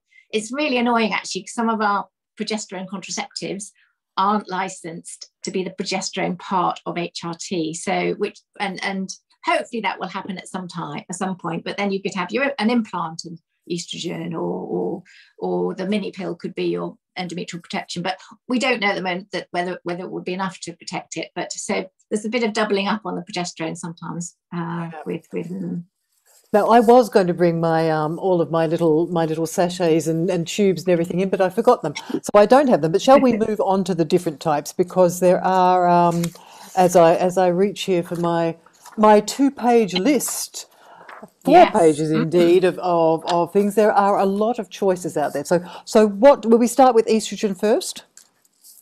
Let's do estrogen. Yeah. Okay. So absolutely. So so estrogen is the thing that um, we need to make get rid of those horrible symptoms, and it's what we need for our to, for the long term protection on the, the heart and the bone and the brain. Um, so estrogen is the is, is the is the magic magic stuff. Um, so uh, so yes. So just briefly, some you can have in tablet form. Um, as uh, as I said, you know, we you I usually start suggesting the, the transdermal first and try all those. A few people just love the convenience of taking a tablet. So if they're low risk and they haven't got, uh, you know, they're healthy, haven't got any serious conditions, they're not overweight, they don't smoke, etc., etc., and they really want a tablet, fine, you can have a tablet. All right. So, you know, they're not, they're, so they're, they're, they're an option. And then you can often take the tablet and it's got estrogen and progesterone in it. So that that's that's an easy way of doing it. But for most people, we start off and, and try try the, the, the estrogen. So I have I have some bits here. So um, Excellent. uh, oh, that's the wrong. So Oestrogel, that's that's a really common one that lots of people start off on, um, which is very easy. It's it just comes in a pot. You have a squidge, and that's one measure, um, and you just pop pop that on. You rub that on your inner thighs or your outer arms, and just use that once a day. The great thing about this is you can start with a low dose and then slowly build up without having to ask the doctor for a different different patch or whatever. Um, and and so that's an easy way of taking progesterone to start with. And I usually start with a really low dose and just slowly build up because And when you say You low dose, you use that like one pump, one pump a day, or two pumps, or what's what? I, what is- yeah, I usually again, yeah, it depends on the age, but I usually say try one pump for a few weeks because often, particularly women who haven't had estrogen for a while, they often get some side effects just to start with, and and, and that can be a bit off-putting. So you often feel a bit nauseous. A lot of people get sore breasts just just while they're, they're getting used to the, the, the estrogen again. Um, some people get sort of a bit bloated. Some people get slight headaches. People with migraine might get a migraine. So if you start really low, um, and then I, if everything's fine after a week or two, I tend to take up to two measures. Uh, I think the instructions say start with two measures. Um, but I don't want to put people, women off by having, you know, side effects and then stopping, which would be really sad. So um, I usually say um, the, the, the maximum standard dose for this is four measures a day, but you would, wouldn't go up. I would always say, we'll try two measures for three months and then see how you go and then maybe go up a measure measure because you, do, you don't want to do it too quickly. And, and younger women who've had a really early menopause often need, need much higher doses than that. Uh, if they've had a, their ovaries out or if they've had a premature menopause. So that's one option, which is the if, gel. If you um with with that one as well, if you were doing four, I mean, is, I I had that one for a little while, and what I found was I I didn't have enough surface area, even though I am a relatively large woman. Um, I found that I was running out of surface area. So if you if you went to um to four pumps a day, could you can you split them two in the morning and two in the evening, or do you have to have them all in one go? You can. So you can put one measure on each bit. So one measure on one outer arm, one on this one, and one on each thigh. Um, it's designed to be once a day, but some women prefer to do morning and evening. Um, and it's absolutely fine, which some people find that it really um, gives them a bit of energy. So then if that was the case, you wouldn't be wanting to have some at night. You'd want to have it all in the morning. But it's really whatever whatever fits with your routine really. Um, um, so yeah twice a week or twice twice a day or once a day is fine.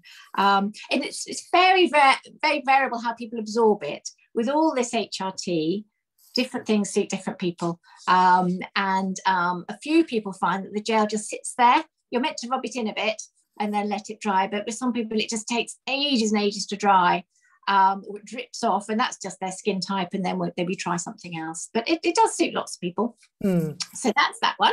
Mm-hmm. Um, and then that also comes in little tiny sachets, which your lady last in the last talk was talking about only being allowed one sachet a day.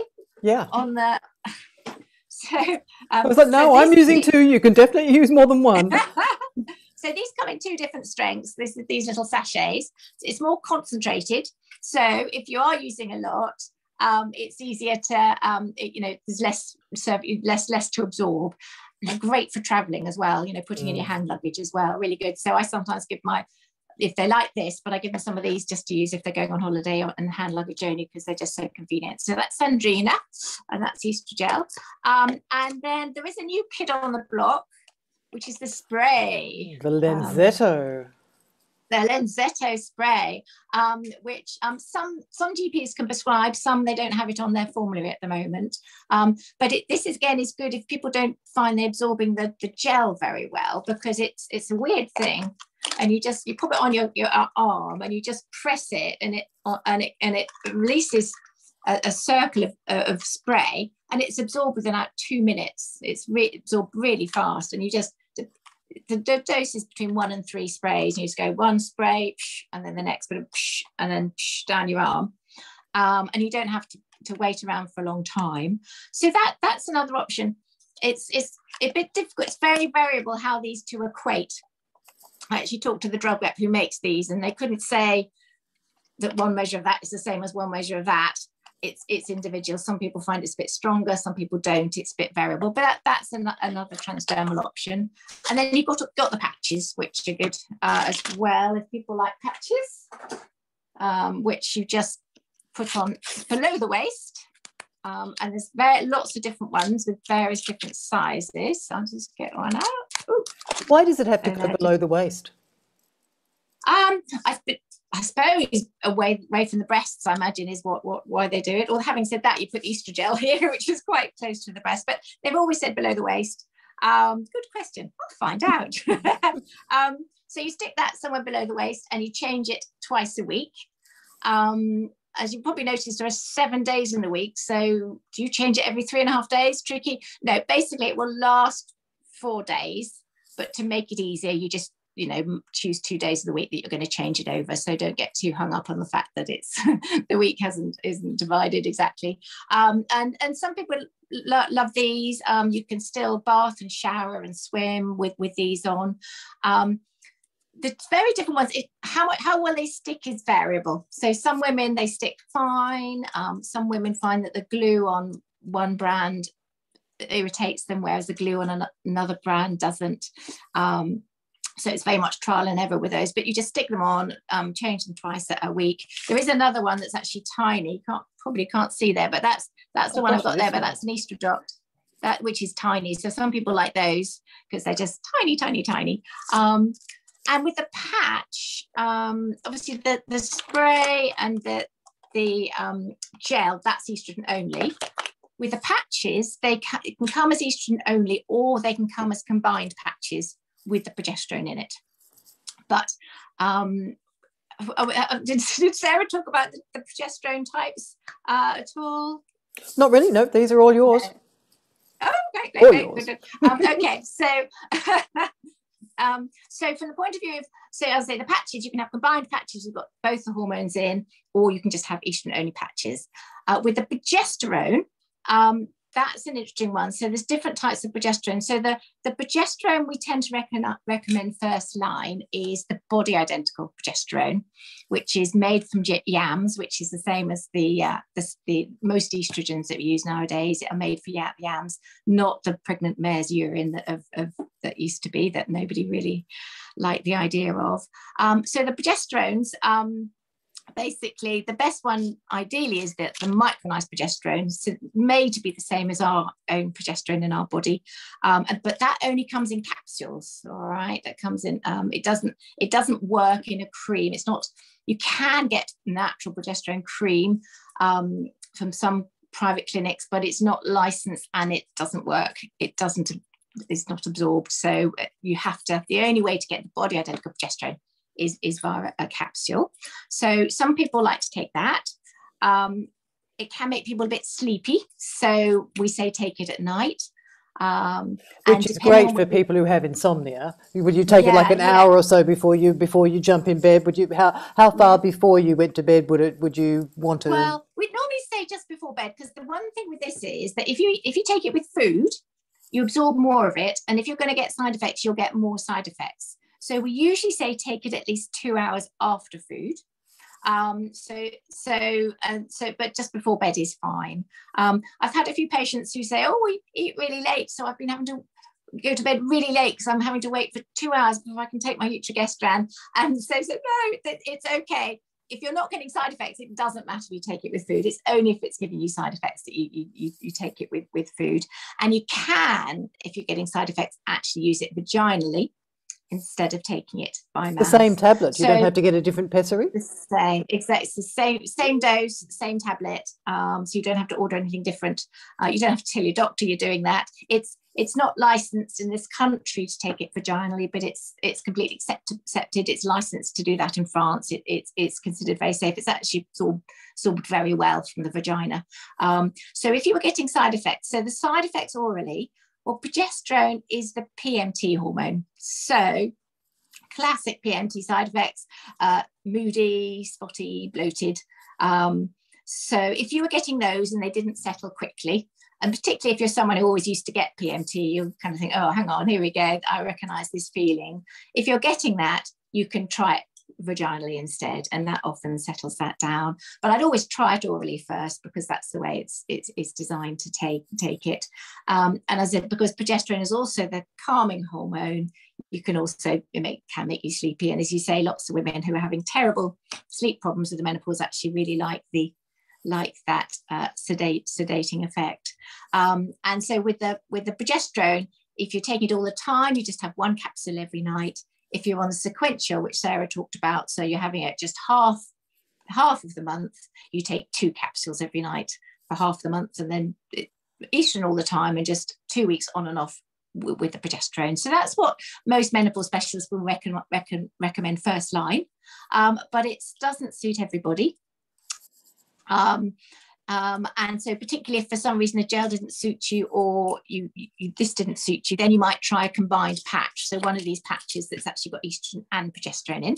So I'm assuming the then in that, that patch is the is that the estrogen is body identical, but the patch, uh, but yes. their progesterone, it's a progestin, it's a synthetic progesterone yeah absolutely it's a synthetic so so the the micronized progesterone capsules are the only body identical progesterone we've got at the moment um, but so the patches have the synthetic uh, progest- progestogen in.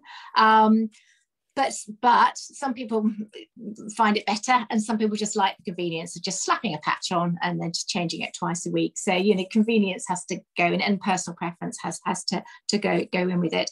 And interestingly actually some people do get uh, annoying bleeding with the micronized progesterone. It's not it's brilliant. It's because it's like a, um, our, our, own progesterone, it mainly acts in the womb. It often has less side effects than some of the older progestogens, but it's not as good as cycle control. So some people might, might find that even if they're on a continuous regime and they're taking it every day and they've had their three to six months of settling down and hopefully the bleeding settles, sometimes the bleeding doesn't always settle because the progesterone just isn't um, isn't controlling it very well. You can increase the dose of progesterone and, and settle it that way.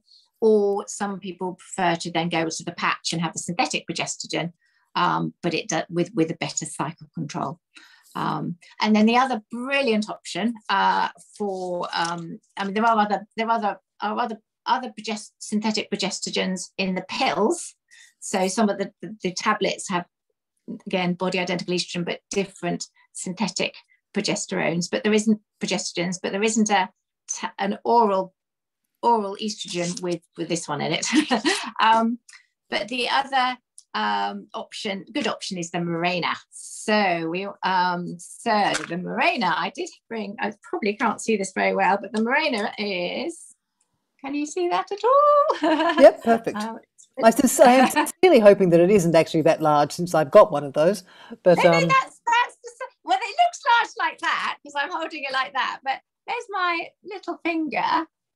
It's not that. It's it's it's it's, it's small. It, it's tiny. That's it. Um, yeah, it's it's small. It's all right. um, so the Mirena is brilliant. So it's it's it's so with it, it's basically like like a coil, um, but it's got this core of progesterone in it, and you pop it pop it in the pop it in the uterus just like that, easy, um, can be a bit uncomfortable. Easy for uh, you to say, exactly. I will actually do. it. Yes, it probably isn't the most fun I've ever had having one of those inserted, but it, it is over quickly. And there was, I think, probably, I think it's important for people to know this, probably a little bit of bloating for about a week to 10 days I had. I think some people can say that that can sort of last a little bit longer. So it can be a little bit uncomfortable for, for a small period of time. But then when you think about the, the other side of that, it's set and forget for five years, really, isn't it?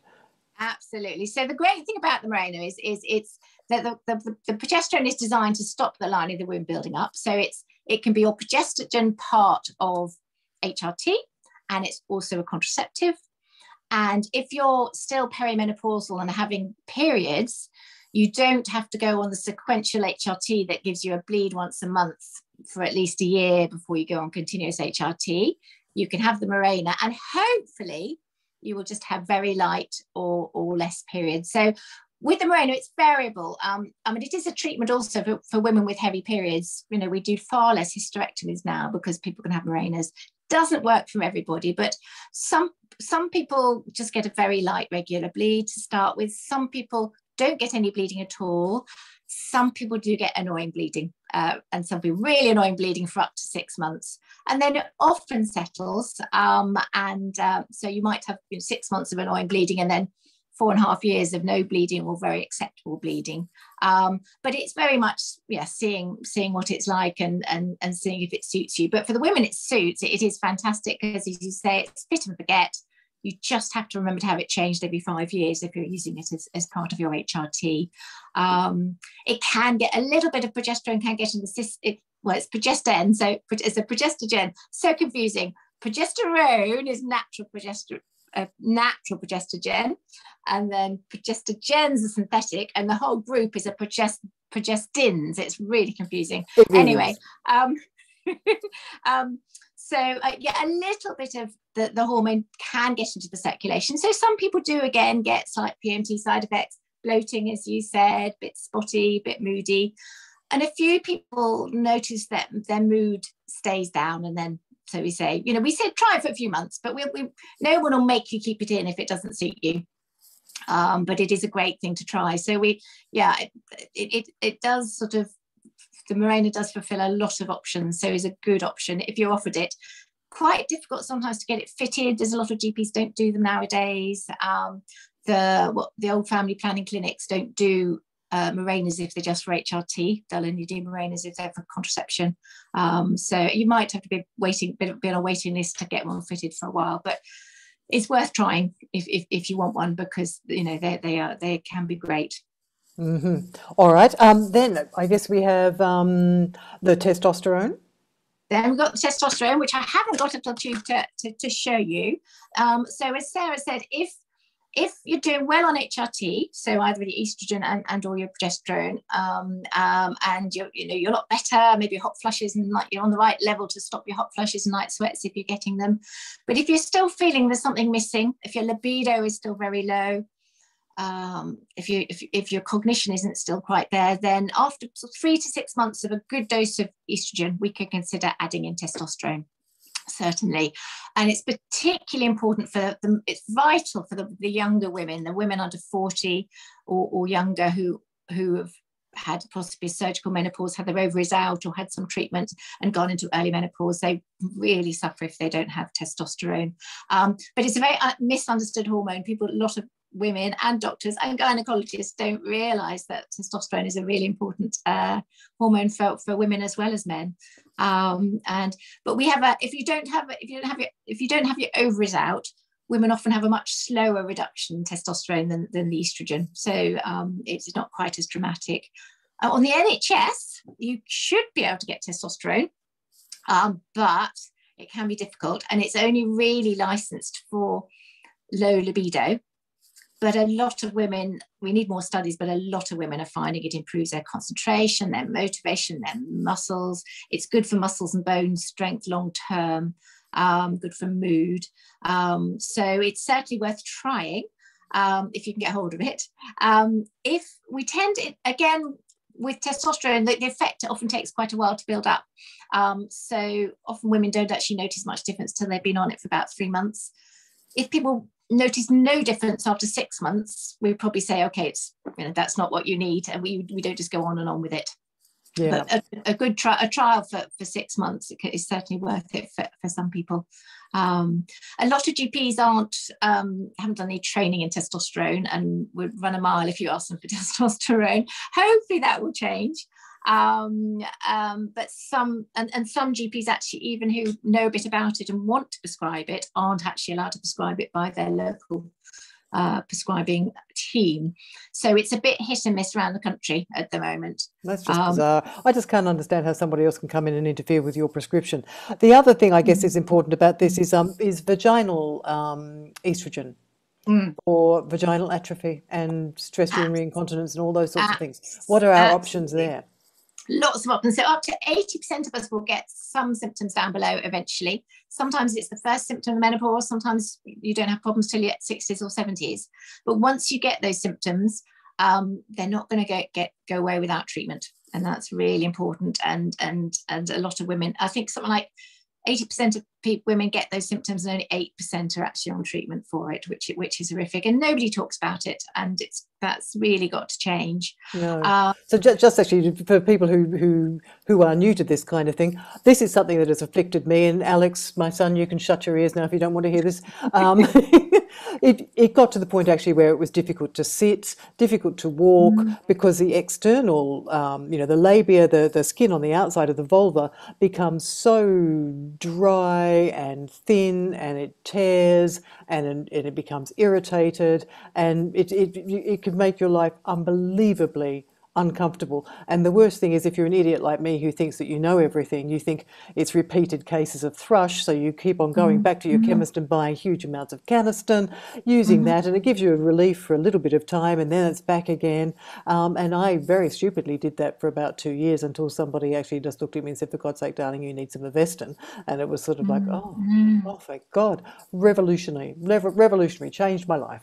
Absolutely, absolutely. So painful on the outside, painful on the inside, too painful to have sex. And the bladder is also affected with the lack of estrogen in the same way as the vagina and the vulva are. And the urethra, which is a little tube which the urine comes out of the bladder.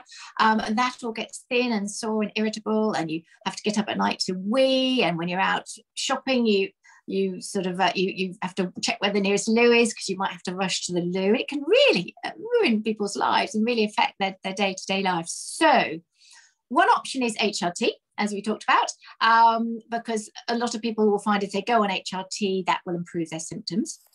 But if you don't want to go on HRT yet, um, vaginal estrogen is, is another brilliant option or can be the only option if people just prefer to have if i've got any other symptoms and want to stay just on vaginal vaginal estrogen. So we don't count local vaginal estrogen as hrt because it doesn't go into the body. It's literally just absorbed locally where it's needed um, the only proviso that I do warn women with is if their tissues are very thin, um, just um, and you're putting something in the vagina just for the first few weeks, a little bit of estrogen might go into the circulation. So people might get a bit of breast tenderness or headaches or a few little blip symptoms, but it's only a tiny amount and that will settle as the vaginal walls thicken up they won't absorb it at all and it will just stay where it is. So it's completely safe um, and just local.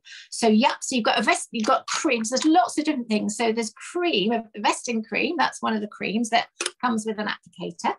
Um, and that's so that that you pop a, a, measure in the in the vagina and you can also rub that on the outside on the vulva as well. So that's a good option probably one of the commonest things that GPs will will will if, will um, issue if they realise that your recurrent UTIs aren't recurrent UTIs, and then you're which um, actually Gemini is asking that here. She's going to say she's got three years of frequent cystitis, uh, constantly prescribed antibiotics. Her hair was breaking. Yeah. She felt dreadful and awful. Had to argue for HRT, but she's asking, can you use these vagina the vaginal estrogen with the Sandrena gel?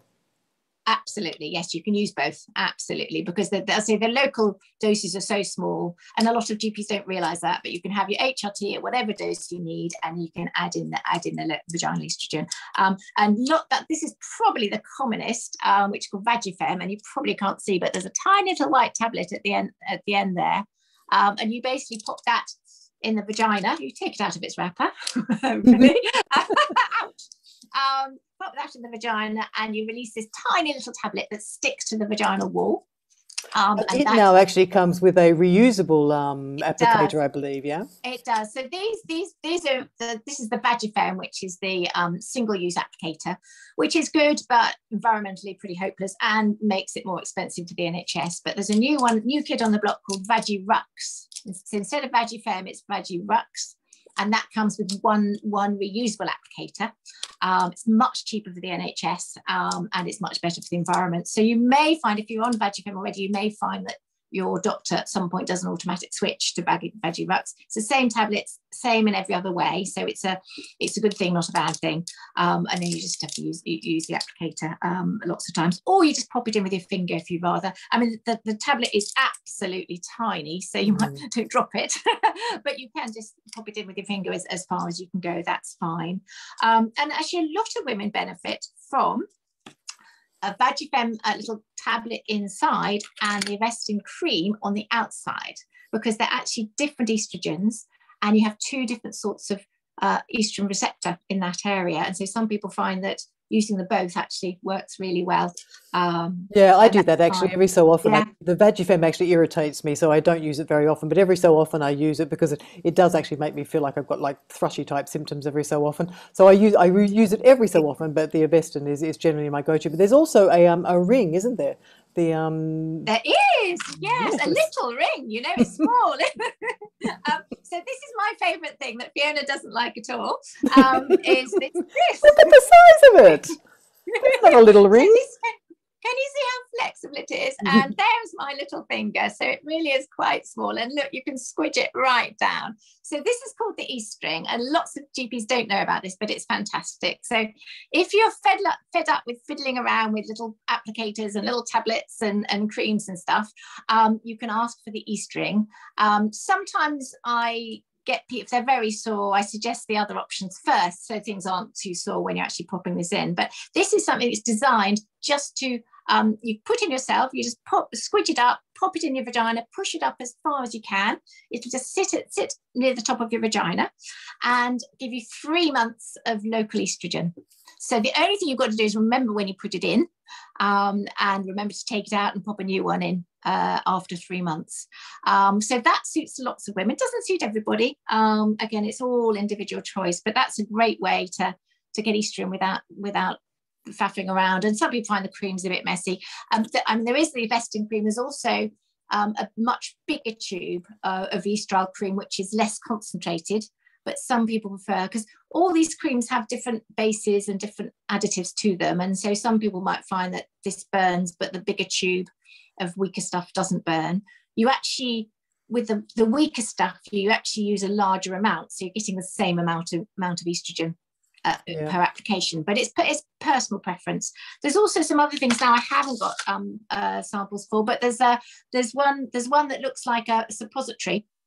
Um, which you just you pop in um, and you don't need an applicator so some people like that Um, and then there's something else called intrarosa, which actually has something else in it that gets convert, com- converted to testosterone and estrogen in the vagina, and that suits some people. That will probably be second line with the GP. They probably want to try the not just the plain estrogens first.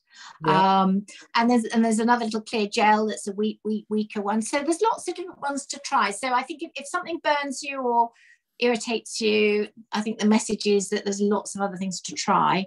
Uh, and until you find something that get get get um, that that's right. So so if I was seeing somebody with with um, awful vaginal atrophy, um, I would if they wanted HRT, I would give them HRT and give them some local estrogen to get things better. And then if they want HRT, they could after a while stop stop and see if they didn't whether they needed the vaginal estrogen or not.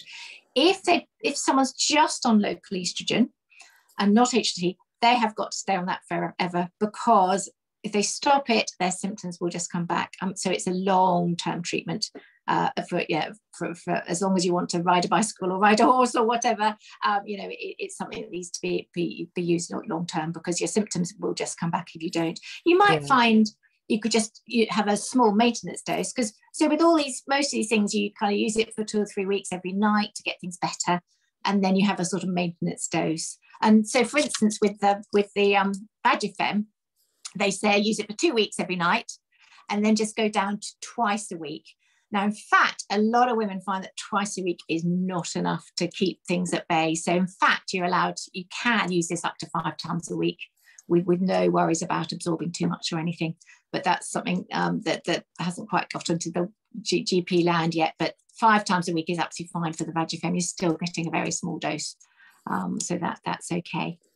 Victoria is asking, she's had a vaginal polyp um, and a total hysterectomy. She's waiting for an appointment with her, her gynecologist, but can she still use um, localized vaginal uh, estrogen if she's had a polyp? Yes, absolutely. Yeah yeah there's no almost everybody can use vaginal estrogen. Even if even if you've had breast cancer you can safely use vaginal estrogen because it's local.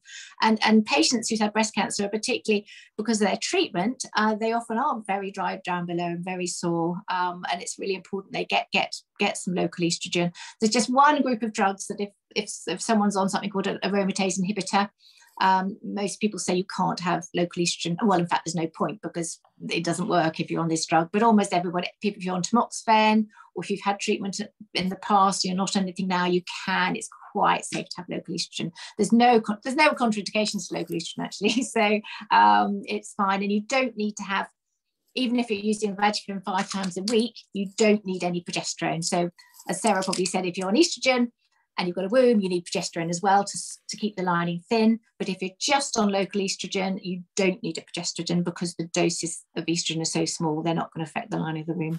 Okie dokie. Now, I guess we should move very quickly on to the um, alternative medical. If you don't, if you can't have HRT or you don't want to take HRT, there are other drugs, aren't there, that you can use for managing symptoms. So, which which route would we be going down to um, if we had symptoms that we want to control but we didn't want to have HRT?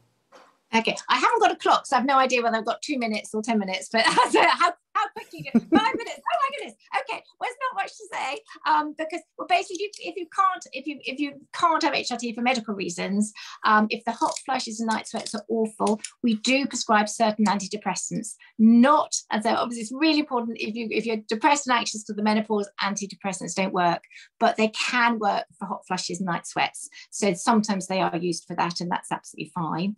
Um, there are other drugs that occasionally recommended. They've got awful side effects. There's something called clonidine, horrible side effects. There's drugs like gabapentin and pregabalin, which we don't really want to use. So there, there aren't uh, there aren't brilliant other options uh, apart from the the antidepressants, the SSRIs and the SNRIs, which which do help some people. Um, alternative alternative medication wise, there's a multi-million industry on take this supplement, take that. Um, and there's the things like black cohosh and red clover and things like that. The studies haven't really shown that they make much difference, I'm afraid. So don't spend loads of money, I think, on, on other stuff really. And black cohosh in particular does cause problems to the liver. So no, we don't recommend try even trying black cohosh. Um, it, it, Oh, it's Because I thought actually with the black cohosh, I thought they thought that the, the liver damage was um, there was there was a period of time where people did have liver incidents Mm. with it, but I thought Mm. they'd then discovered actually that it wasn't necessarily the black cohosh, it was the fact that these were just badly produced tablets with lots of other nasty things in them. Mm. Well, that's you see, that's the problem. We don't with these things. We don't know what else. Well, what else is in them? I think so. Um, so um, and there's so many things. There's you know magnets and um, all sorts of weird and wonderful things that. Um, but I think don't don't don't don't waste your money really. Um, but um, but um, I think the best story I've heard with the magnet is actually somebody they said the only the only the only thing they found with the magnet was that every time they went to the supermarket, the trolley stuck to their pants. very good. But i think you know we, we must very briefly just talk about lifestyle is so important as well. So um uh you know with with things like hot flushes not having lots of coffee and tea and not having too much alcohol and getting enough sleep and relaxing and exercise and getting outside. So there's a lot that people can do to help themselves if they whether they're on HRT or not, we all we all need to at this stage of life sort of work out how to keep ourselves as healthy as possible. So lifestyle is incredibly important as well, um, and um, can certainly help. And CBT is is is can be really good as well if you can't take HRT. And you've got that brilliant. I recommend everybody that um, talk about sleep with Zoe because Oh, that was really good, wasn't it? Yes, I sent that out in the um in the link that you guys all would have got today with all of the um that long list of links there. Down there is, is one to the Instagram chat that we did with her, and she she does um, she's a menopause doctor as well, but she runs a sleep clinic. And uh, one of the things that she was talking about in that um, you know going beyond just normal sleep hygiene of having you know a good time of waking and a good time of going to sleep and and you know layering clothing and all of these sorts of things was cognitive behavioural um, therapy specifically for um, insomnia. And um, Yeah. but that actually, I was going to ask you about cognitive behavioural therapy for vasomotor symptoms as well, because they use that for that, don't they? They do. In fact, I've got a, uh, there is a book. I've got a book. Ooh.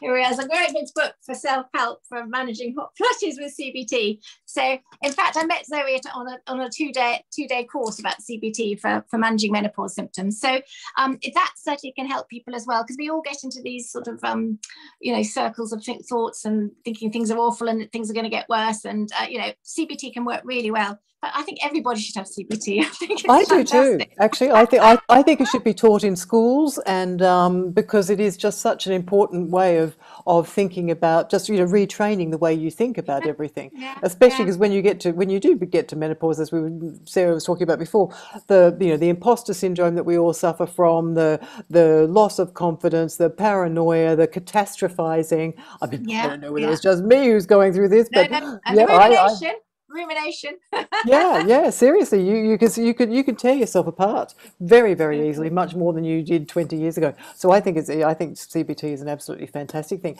Are there any questions for Juliet um, quickly before we jump to poor Sophie, who well not poor Sophie, before we jump to Sophie, does anybody want to um, ask a couple of questions, race to the loo, do whatever is needed, or shall we um shall we have a little break for a couple of minutes, come back to Sophie? Um, let me know. I think I, I think I've done my questions. Shall we take a little three or four minute break, then race to the loo and, and do whatever? Nothing else coming up? No. No, fantastic. Okay, right. well, Brilliant. Thank you very, very much for that. And um, people can find you on the link that went through um, as well with every to the at the Wells Menopause Clinic. yeah, Wells menopause clinic, and on Instagram, I'm at menopause health as well. Yes, brilliant. And you soon will be um, on my website as well. I was going to put you up today, but I ran out of time. Oh, oh, lovely. Okay, nice to see you. Have a nice evening. Thank you. You too. And I will stop this recording. Bye. Take care. And there you go. So, everybody, this is the very lovely Sophie Medlin, who is a dietitian at City Dietitians here in London. And um, there's nobody who knows anything, well, nobody who knows as much about. Um, Food, conditions, gassy bowels, nasty poo, and all those sorts of things than you. what a way to introduce me. I know, I know. You can always rely on me to be um to, to lower the tone. If the tone needs to be lowered, I will be. I will, I'm your person there to do it. So I guess the question is that when we get to this stage in life, um, a lot of things happen to us. We feel tired. We start putting on weight around the middle. Um, we're you know things just don't. We're not. We're not. We're not. We're not functioning on all barrels do we need to look at the way we eat? Is how much of a role does diet play in that? Do we have to change the way we eat? Well, certainly a lot of women find that lifestyle changes that include dietary changes and perhaps a reflection on the type of exercise and movement that we adopt makes a big difference to some of those menopause symptoms. And certainly we know that eating particularly uh, a lot of plant-based foods can be really helpful for our gut function. Mindful movement can be really helpful, and important for gut function. So when all of these symptoms, when we first start getting these symptoms of things slowing down a little bit metabolically, all of that sort of stuff that happens to every woman, it's time to start listening and acting a little bit more and thinking about what you can do to, you know, help your body along a little bit in those times where you recognize those signals. Women's bodies are incredible and they change so much to our life cycle. You know, men are very different for lots of different reasons, but you know, in general, particularly when working with men metabolically, once they get to about 30, they stay about that same rate until they're about 65. It's much the same. But us women, because of, know, we start our periods, then our life is very different for a short period of time when we're very fertile, our fertility drops. Then we come into, we might have babies, and then our bodies change again. And then as we move into the menopause, we're, we're a constantly changing creature, and that's incredible and fascinating. Um, but I think we need to learn to respond to that better and to listen to ourselves more. And so often we're so busy that that's very difficult. Did you you mentioned the thing they called mindful movement? What do you mean by mindful movement? Yeah, so we're really trying to move away. It's a bit so we might call it intuitive movement. So what I'm talking about there is thinking, oh, what have I got the energy to do today? So I know I need to move my body every day what have I got the energy for right now in this moment? This is the time I've allocated to move my body. Am I going to do some yoga? Am I going to go for a walk? Have I got some energy to do some HIIT or do I want to go for a run? What does my body need from me today? And just taking a couple of minutes to think about what you actually need in that moment and what would serve you best. Because I think, you know, there will be days where you have good levels of energy and there will be days where you have much less energy.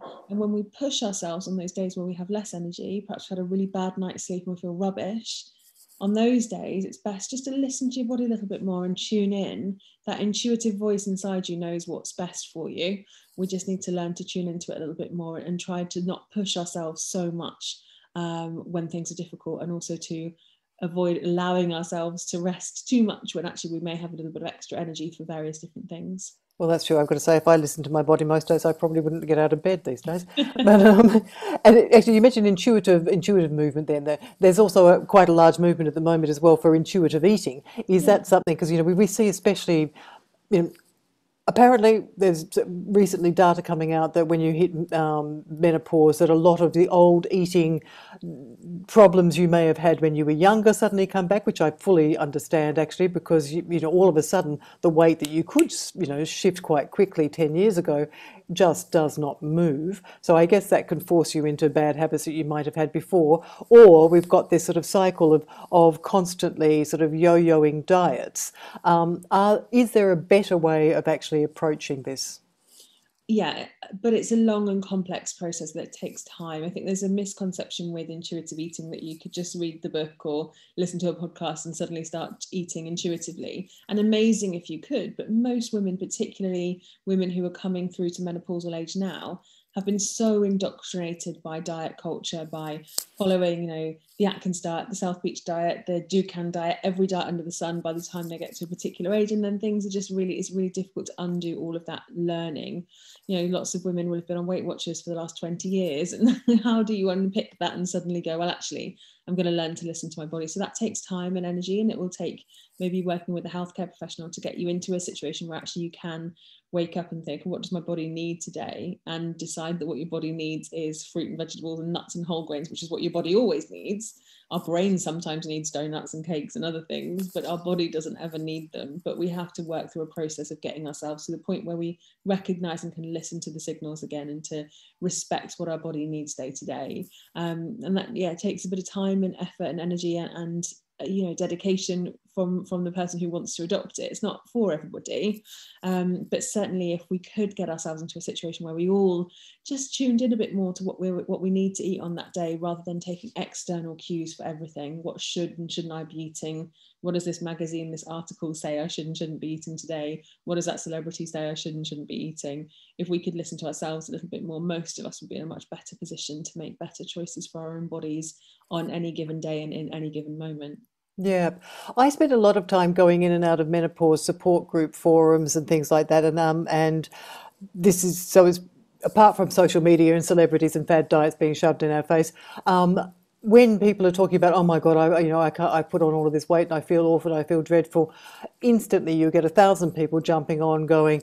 Cut out the carbs, Yeah, cut keto, out the keto. sugar, yeah, yeah, ke- yeah, keto, keto, keto, those kinds of things. Um, is- you know, do we need to cut out whole swathes of food, or is there a danger in doing that?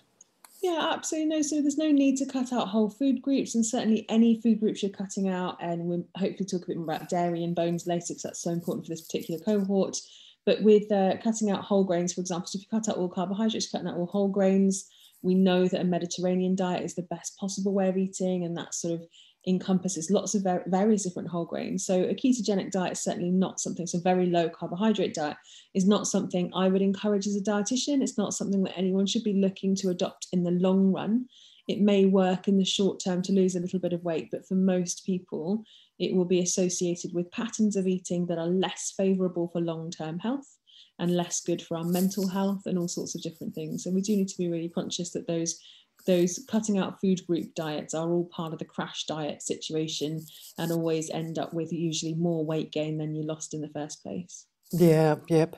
Um, now, speaking the, the things that are important for this age group, and I guess the um, you mentioned bones there, and so brain and heart as well. Shall we start with bones? If we want to keep our bones healthy until we get older, what do we need in our diet for that? Great question. So, bone your bone health is largely dictated from when you are. We've got a, window of, of our lives where we can get our bones as dense as possible, and that's actually up until the age of 30. So, all of us are over that kind of peak now, unfortunately. So, that we call at the age of about 30 our peak bone density.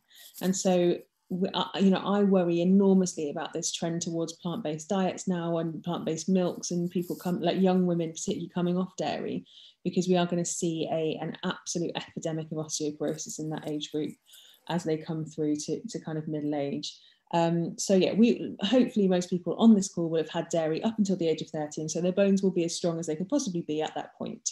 Every day after the age of 30, uh, even if you have extra calcium in your diet, it can't go into your bones in the same way. So you'll excrete it. But every day that you don't get enough calcium in your diet, it, a little bit will be taken away from your bones. And calcium is the thing in your bones that makes them dense, that makes them strong. So imagine every day that you don't eat enough dairy or you don't get enough plant-based calcium uh, with extra fortification every single day, a little bit of calcium is taken away from your bones. And women who have had multiple pregnancies and children, their, their bones will have been leached by their children to grow their bones, and that's a normal cycle, it's a normal process. But ultimately, those are the sorts of things that really lead on later in life to osteoporosis low body weight, lack of um, weight bearing exercise also have a high, increased risk of osteoporosis later. There is certainly a genetic factor, so some people will naturally be higher risk. Um, but those are the sorts of things that put us, at higher risk of having osteoporosis and developing significant problems with that.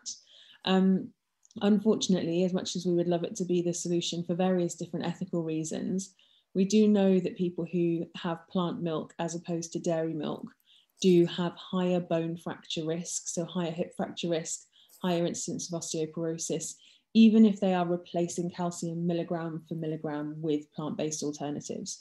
So there's something about the plant-based uh, calcium sources that just don't quite work in the same way for bone health, unfortunately. So if you are moving more towards plant-based milk, so you've heard that's a good idea, or you are you know, you're completely vegan, for example, please be super conscious of calcium and do consider supplementation with vitamin D.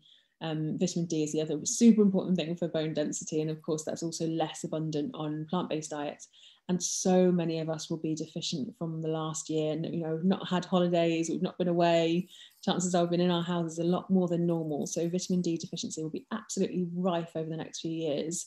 So we all need to be conscious of that. And if, if there's anyone on here who's not supplementing, please do make sure you're supplementing with vitamin D at this time of year. All right, before I take you back to the calcium for a second, if we are supplementing our vitamin D, um, what particular type of vitamin D should we, should we be looking at and what type of dose should we be looking at?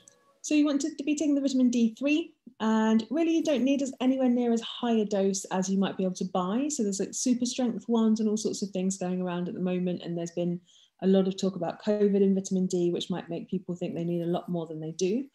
You can take a higher strength one just a couple of days a week, maybe three days a week if that works for you. I prefer to take a lower dose, so 10,000 units every day, just so I know I've ticked the box and it's actually in a multivitamin that I take anyway. So it depends on how it works best for you. There are mouth sprays now, you can buy patches. There's lots of different ways of taking it now if you're not very good at taking it, taking it um, in tablet form. So just bear in mind if there are if it's a higher dose, then you don't need to take it every single day if you're worried about taking too much. And we should all worry about taking too much. You know, there are yeah. risks with too much vitamin D. The uh, I think with public health, I think they say 10 micrograms. I uh, was it 10? Yeah, 10 micrograms a day or 400 international units right. is the is the the sort of general dose that they would um, would normally say. And when you say there there are risks of taking too much, so because I mean I remember I had this conversation with you once before actually when I went into a health store shop and the the guy sort of pulled off the shelf the this obviously is not vitamin D, it's my sunscreen, uh, but you know, pulled it off the shelf and said, here, take this. This is, you know, like um, unbelievable. It was like six times the daily recommended do- dose. And, and he was saying, well, that's what I take every day. Is there a risk of having too much vitamin D? And if there is, what is it? Yeah, absolutely. So we, vitamin D is a fat soluble vitamin, which means that we do store it in the body. So water soluble vitamins like vitamin C and B vitamins, we get rid of very quickly. We flush them out through our kidneys every day. We need high intake of them every day, but we also get rid of them every day. Vitamins like vitamin D, vitamin E, vitamin A, we store in our bodies much more readily. And that means that we need to be careful of not having too much of them because they can build up.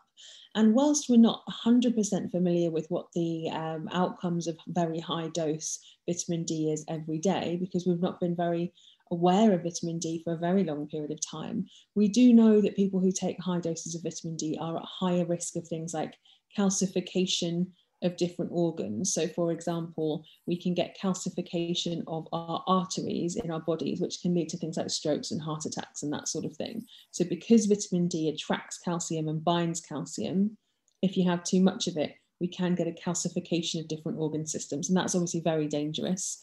And we also see a higher cancer risk in some people who have been taking high dose vitamin D for a long period of time. So, really worth being conscious of that. And to be clear, we don't know, you know, the 10,000 units, sorry, the 400 units, 10,000 milligrams that the government recommends. That's, that's a bit of a guess, really. We don't know for sure what's right for everybody. And again, we're still learning so much about vitamin D but ultimately we don't want to be massively ex- ex- exceeding that dose every day because we will store it and it does build up in our bodies. Now, going back to the plant-based diet, then I guess there's another. This is the interesting thing about the calcium um, is. If I were taking a plant-based diet, or even if I weren't, I would have, and I thought, well, I'm at risk of, I'm not eating enough calcium, I will reach for a supplement. Um, is there a risk with the calcium as well that if you're taking too much of it, that you could actually be doing yourself harm? Yeah, potentially. Again, so the calcification of organ systems is a risk with high dose calcium. If you are not taking any calcium, any animal calcium, so any dairy basically in your diet, or fish with bones and that sort of thing, then you do need to think about taking a calcium supplement. We would absolutely recommend that. And calcium with vitamin D is the best one. There's osteocare, there's various different ones you can take. But just be conscious of taking mega doses of calcium. Again, there is a risk associated with that. And it's worth, if you can, paying for a bone scan to see your bone density or going to your doctor and saying that you're worried about your bone density because we can all get those sorts of scans done and figure out whether we do actually need a calcium supplement that your doctor can then look after and monitor for you. Yeah, yep. Yeah, that'd be an interesting. I'm just imagining um what most doctors would say if you went in and said, I think I need a DEXA scan, I would imagine that many of them would say no. Um, but yes, which would be sad because we don't really know exactly what we've got. Um, other things that people say that are, are useful for them um, are things like magnesium, especially for things like restless legs and symptoms like that. Is that something that's a useful thing to take? Or can we get enough in our diet?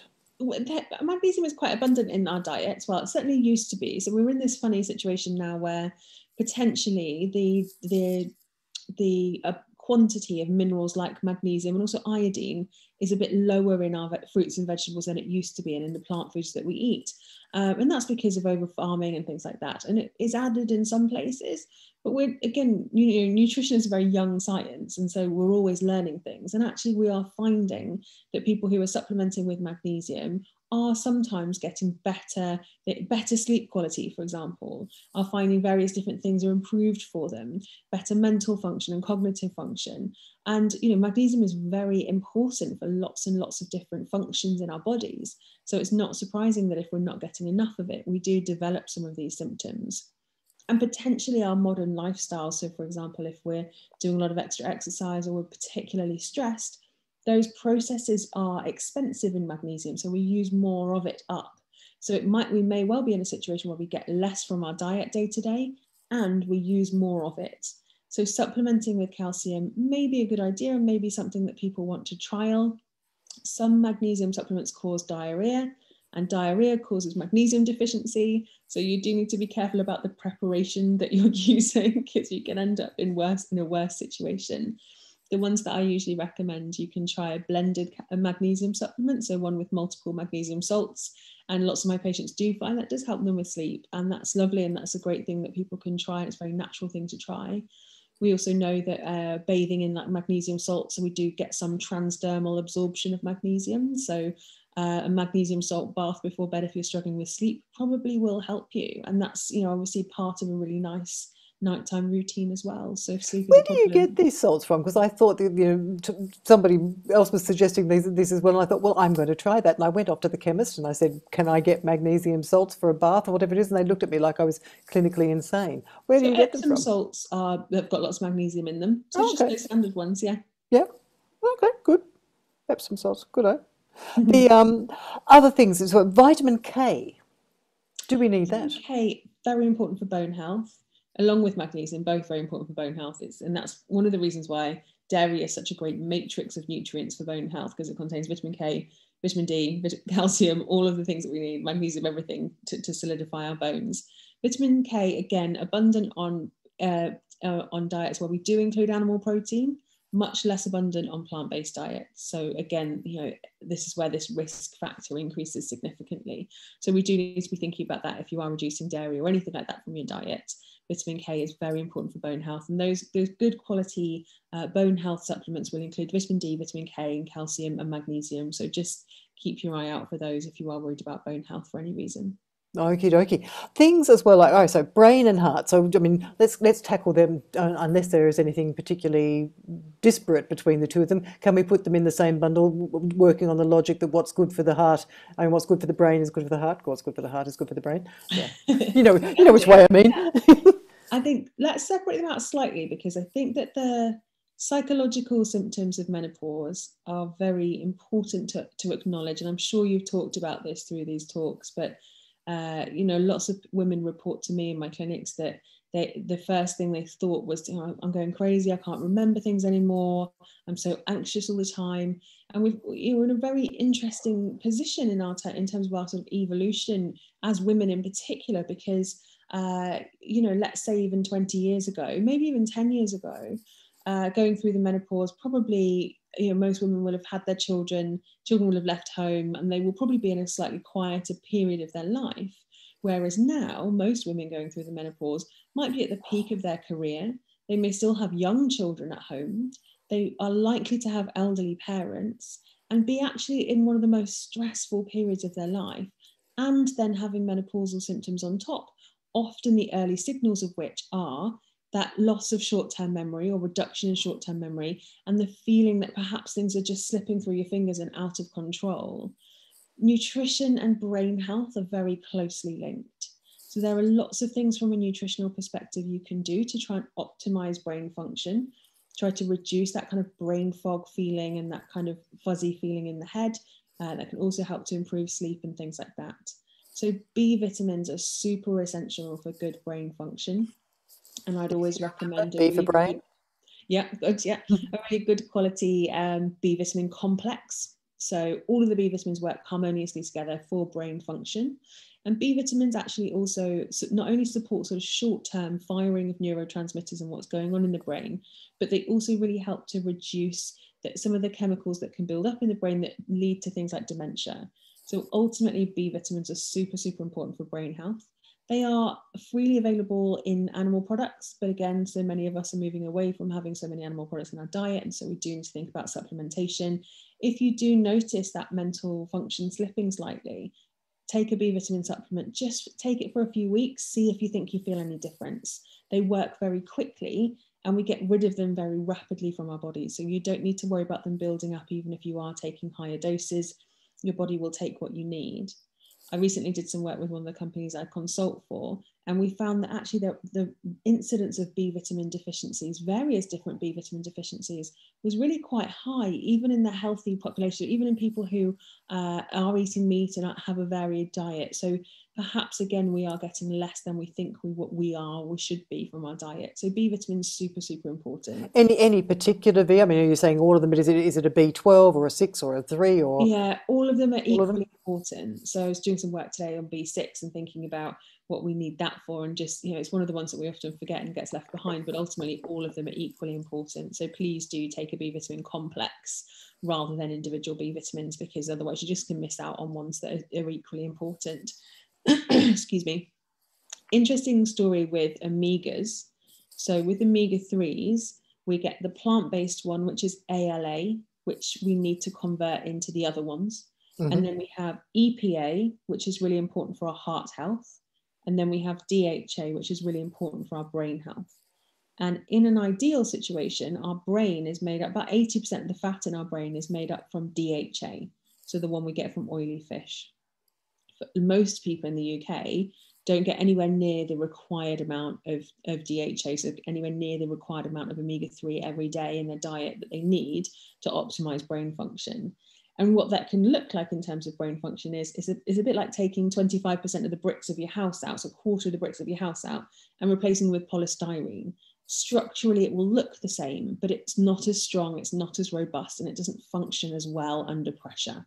So if you're not getting enough omega-3 fatty acids from oily fish in your diet, please do supplement every single day give your brain a fighting chance of maintaining the best uh, structure it can possibly have in order to support all of the important functions that you need it for.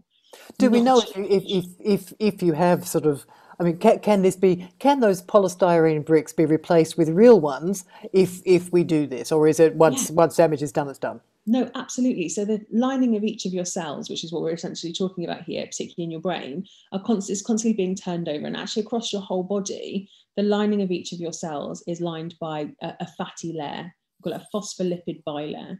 And the, the lipids that you take in your diet will dictate the nature of that, that layer, that coating of every single cell in your body. And so if you're having lots of uh, pot, like unsaturated fats, monounsaturated fats, the majority of the fats in your diet from olive oil and monounsaturated fats like avocado um, and that sort of thing, then generally those uh, and oily fish obviously that those lipid layers on each of the cells is in a very anti-inflammatory state. Whereas if our diet is predominantly uh, polyunsaturated fats so things like vegetable processed vegetable oils or saturated fats from uh, animal fats like um, you know the fat on bacon and also butter and that sort of thing us all of our cells are in a slightly more inflammatory state. So they're much more prone to inflammation.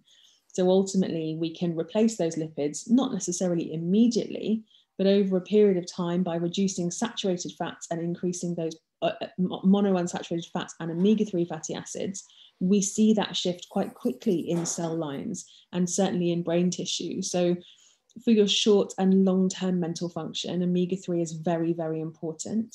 The plant-based one, so again, if you are on plant-based diet, just taking seeds and things like that, that ALA is not useful at all. We can't convert enough of it into the EPA and DHA, which are the ones that are important for our heart and our head. So we need to be taking an algae oil supplement always if we're on a plant-based diet, not relying on a plant-based omega-3 supplement. Well, see, that's an interesting one, is it? Because we, we will get to these, um, well, actually, let's just dive right into them now.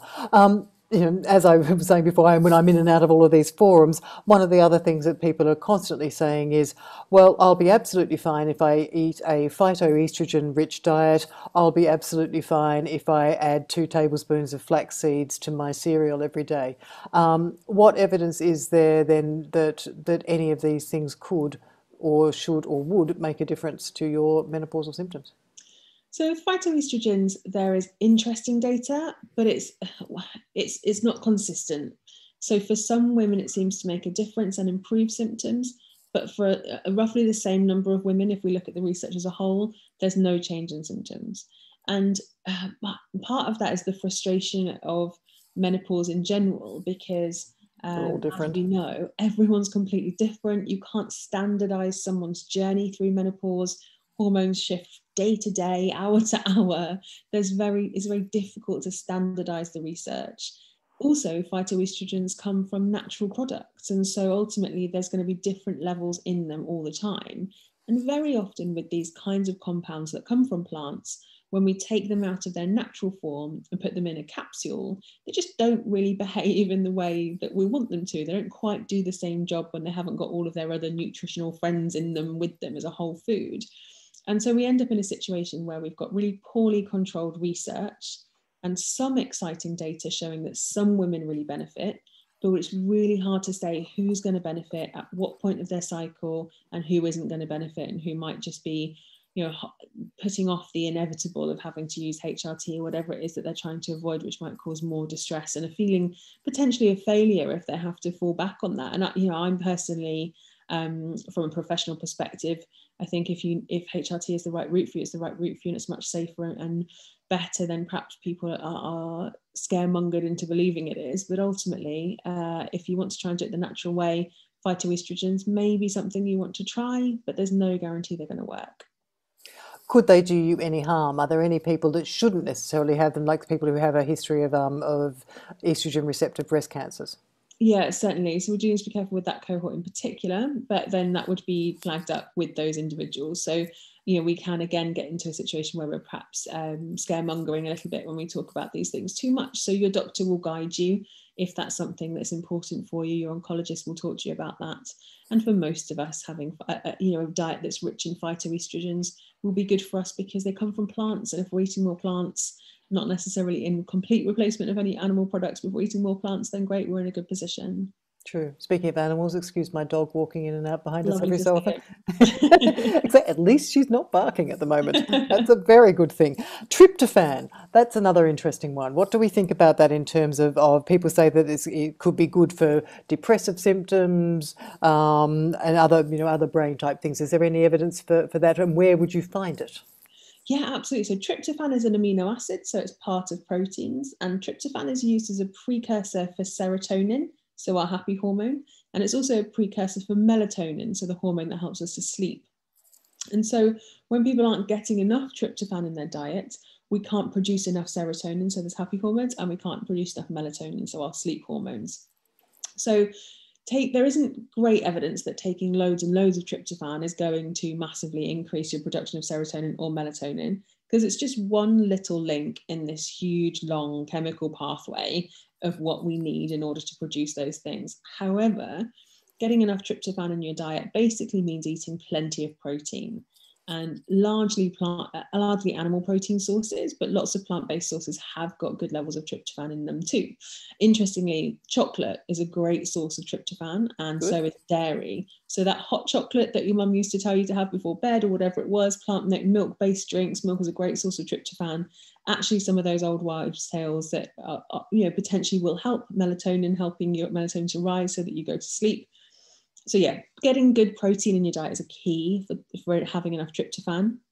There isn't good data to suggest that taking it loads and loads of it in capsule form or powder form is going to make any difference compared to if you just make sure you're getting enough from your general day-to-day diet.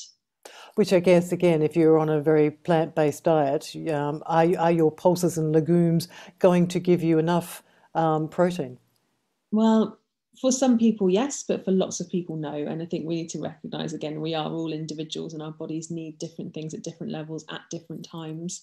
Um, and, you know, if you are someone who knows that perhaps you are struggling with getting enough of those happy hormones going and you are feeling particularly low, it's a great opportunity to look at your diet and think about making sure that you're getting enough um, of those key proteins and key amino acids to make sure you're doing yourself as many favors as you can in terms of keeping things going. True. And um, you had, you mentioned before hair loss, and here is a question about that. Um, would you rec- what would you recommend? I can't even talk anymore. What would you recommend for hair health? Yeah, so uh, one of the things I always say about hair health is that you need to remember that your body doesn't care about your hair. So your hair is your body's last priority. It doesn't care, it's not interested. And so unless you're looking after every bit of your wellness, your body's going to think well, hair is not important. Does that make sense? So essentially, we need to be thinking about for, for hair health, we need really good sleep.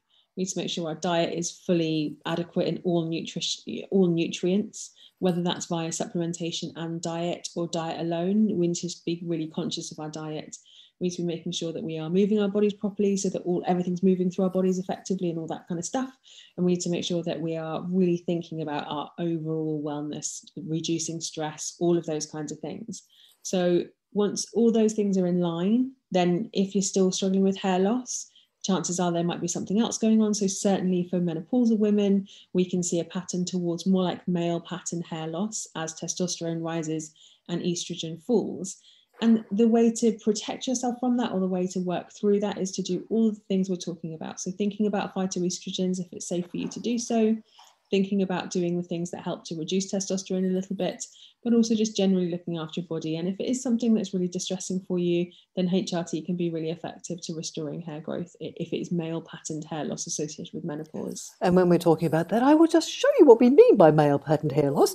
It's when we're sort of going here in these little temple areas there that um, that I seem to be suffering from. Well, I've got I've got polycystic ovarian syndrome, and although I've only just turned 35, I've certainly got that to quite a big extent as well. So it is associated with any hormonal changes um, that move you more towards more of a um, more testosterone essentially in the body. Yeah, yeah, but it's an interesting one. It's a yes, can be quite confronting losing your hair. Yeah, totally, totally. Yeah, but you know, I guess there are worse things in life. Um, vitamin E. This is another interesting one because we're told that this is good for many, many things, but also too much can actually not be so good. So, what is it good for, and how much is the optimum level? So, vitamin D is an antioxidant vitamin and it's a fat soluble vitamin. So, it comes from things like um, avocado and olive oil and those nice healthy fats that we get from our diet. Um, it's really good for our skin, so keeping our skin subtle and uh, su- sub- supple and soft and not getting too dry. Um, and so when we find women who've been on very low fat diets for a long period of time, like if they've been on Weight Watchers, for example, for a long period of time, often vitamin E can be deficient, and then skin is drier, less supple, feeling like um, perhaps quite low in energy. And so it's really great antioxidant, but perhaps again not one you want to take on its own. So there's no good evidence that taking lots of vitamin D on its own is going to support you in any particular extra way, as if you took it with plenty of other healthy fats in your diet or as an antioxidant supplement alongside other antioxidants. Yeah, she just let me go back to the hair for a second. So it, normally, um, most of the hair supplements contain biotin, don't they? That's the one that most yeah. people are sort of normally taking. Is there good evidence that biotin can actually make any difference to your hair if you if you are going to get a supplement? If you were deficient in biotin, then yes, taking biotin can restore hair, uh, lost hair. If you're zinc deficient, then taking zinc can restore lost hair. But if you're not known to be deficient in any of those nutrients, then there's no convincing evidence that it's going to make any difference. But as I mentioned earlier on, you know, we do notice that lots more people are deficient in these things than they were previously. I'm always uh, discouraging people from taking nutrients in isolation because often we need actually if we're deficient in one B vitamin, chances are we're deficient in others as well. So we could take loads of biotin, but not be getting enough vitamin B12, for example, which would then mean that we still experience some of these hair loss patterns because of all the things I talked about before. So just be conscious that not that try not to take things in isolation and consider that. We talked previously on Instagram, actually, didn't we, about Viviscal, which mm-hmm. is a hair loss supplement which has got some reasonable evidence. And I didn't know, but you mentioned you can get them prescriptions. You can have prescription uh, strength of it, and you can get one that you buy off the shelf. So that's called Viviscal. And, yeah, you know, yeah. There are the two. The professional one is basically twice as strong as the other one. It's about twice the price. So if you wanted to take it, if you if you do need to get good results on it, you probably have to buy twice as much as the one in the chemist. Um, yeah, to, to and it is reasonably expensive. So just bear that in mind. Yeah. The other thing too is um, minoxidil. That's the the spray that you get Regaine, Mm, um, yeah, yeah. and um, that does have some pretty good evidence for it. But if, you know you've got to continuously use it, um, and there are some people for whom that doesn't work. Actually, this is where you get really complicated um, because some people don't have the gene that allows for the for the enzyme that breaks it down to make it effective. So not re- Regaine won't work for everybody, but it does work for for a reasonable number of people. And if you want to know whether or not you've got the gene, there is a gene test that you can take called TrichoTest, but that costs you about 400 quid. So you might as well actually just buy the Regaine, use it for six Yeah. months and see whether it works or not, because it's a very, very expensive test. The other thing too, actually, tiredness, that's an interesting one. And um, should we, should we, you know, sugars and, and spiking blood levels and things, how can we help keep those under control?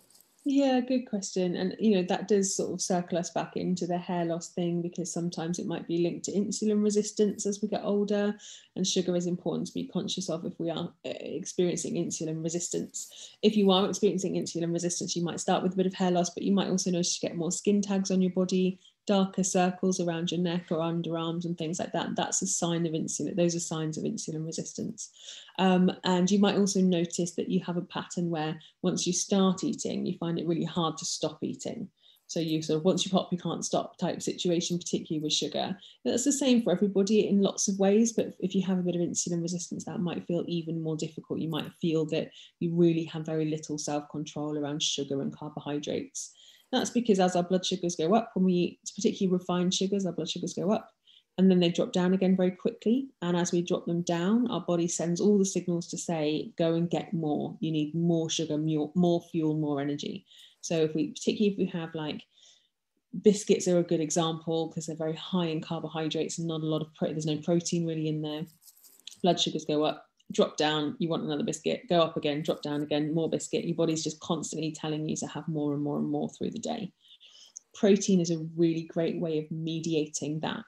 Protein helps to the, the blood sugars to the blood sugars to be better managed, and so your blood sugars will go up, but they'll stay up a little bit longer and that fall will be much more gradual. So you won't experience it so much, and it won't be that it's kind of in 20 minutes later more, in 20 minutes later more. It'll be more like in um, an hour, hour and a half later more, and that's kind of much more of a normal pattern. And so whenever I'm thinking about snacking or meals in general, particularly breakfast, I think can be really difficult if we start with a really high carbohydrate breakfast.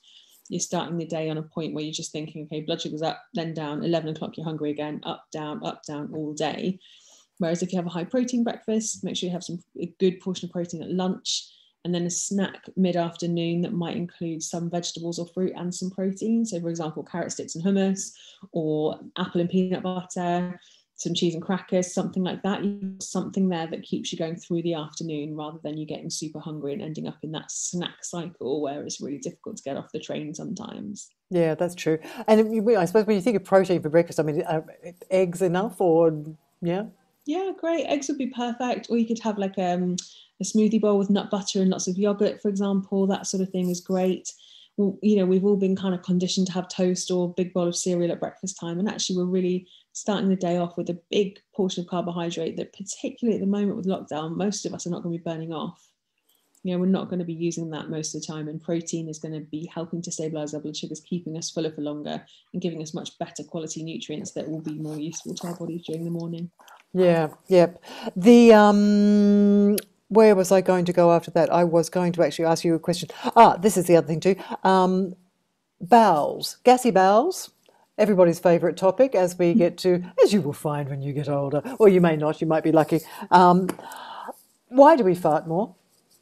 Well, what happens is our digestion slows down as we get older, and that's completely normal. So you might notice that your mum and uh, uh, you know elderly parents are taking eating prunes every day because they're constantly trying to keep their bowels going. That's sort of a bit of a stereotype that we hear, isn't it? Um, and actually, it's because our bowels naturally slow down as we get older, the same as other bodily processes as well. And so the longer the poo is in our colon for, our large bowel, the more fermentation from bacteria can occur. And your colon, your large bowel, which is the one that where the gas is generated, is actually about a meter and a half long. It's a big organ. And when that's full of gas from fermentation, you're going to feel bloated, you're going to feel sluggish, And you might notice that bloating feels really quite high up, even under your ribs, because your large bowel loops under your ribs like this and comes down again either side. So uh, you just food is spending longer in your colon. We also notice that as people get older, in, in around middle ages, the time when our gut bacterial diversity reduces. And in the reduction of gut bacterial diversity, we notice that people generally experience more wind and more kind of IBS, irritable bowel syndrome type symptoms, even if for the rest of their lives they've been fine. What we don't know is whether that's a natural part of the aging process or whether that happens, that lack of diversity and reduction in diversity in the colon happens because we generally eat get into rhythms as we get older with the types of foods that we eat and we're less adventurous we sort of get into patterns a little bit more stuck in our ways perhaps with what we eat. So there's good potential for probiotics if you are noticing that that's problematic for you. But whenever we take a probiotic supplement we also need to focus on increasing our plant diversity in our diets because all the different groups of bacteria eat different plants and if we're not eating loads of different types of fruits and vegetables and nuts and whole grains, then we're still going to be starving off some of the ones that are probably going to control some of those symptoms for us.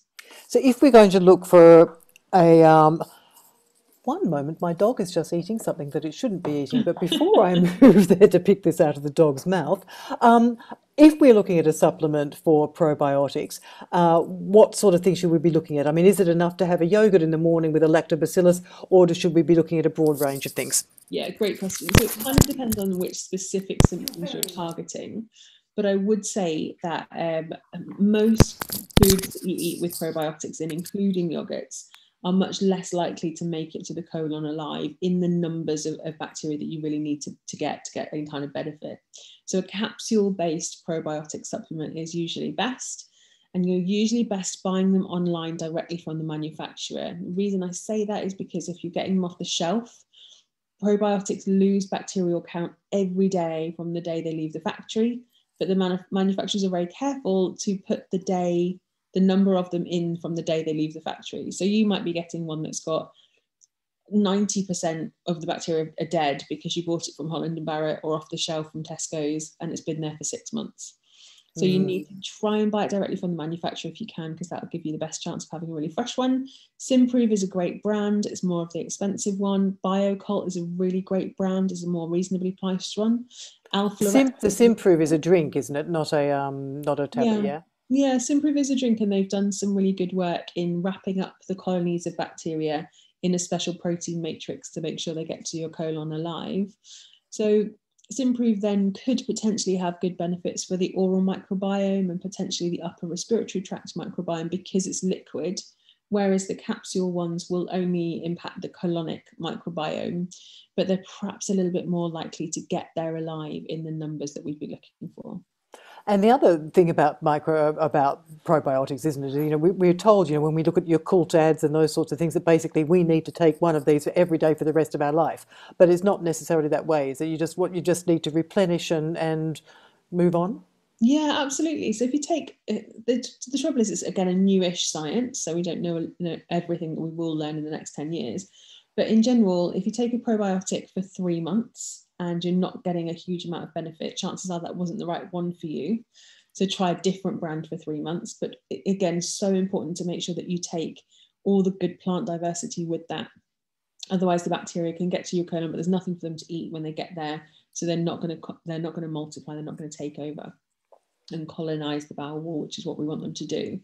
So um, yeah, you could try Simprove for three months if you feel like you've had the benefit. There's no need to continue to take it. You could take any of the other ones for three months. There's no need to continue if you feel like you've had the benefit. But if after three months you're not really sure if it's made any difference, you could try a different brand with diff- with a different bre- bre- blend of probiotics, and chances are you might notice a difference.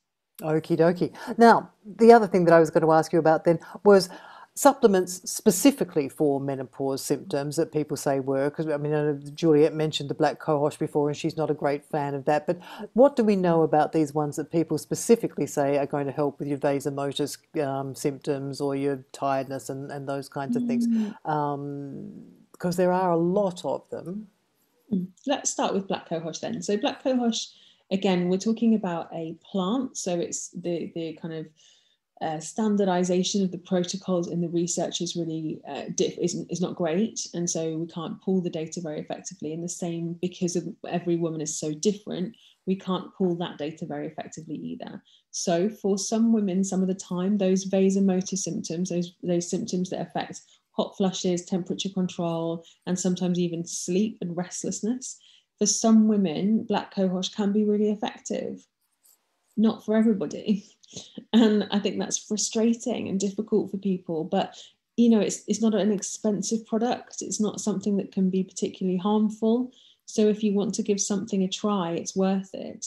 One of the things that we recognize in the menopausal population and also in, in lots of other cohorts as well including irritable bowel syndrome is that the placebo effect is really strong.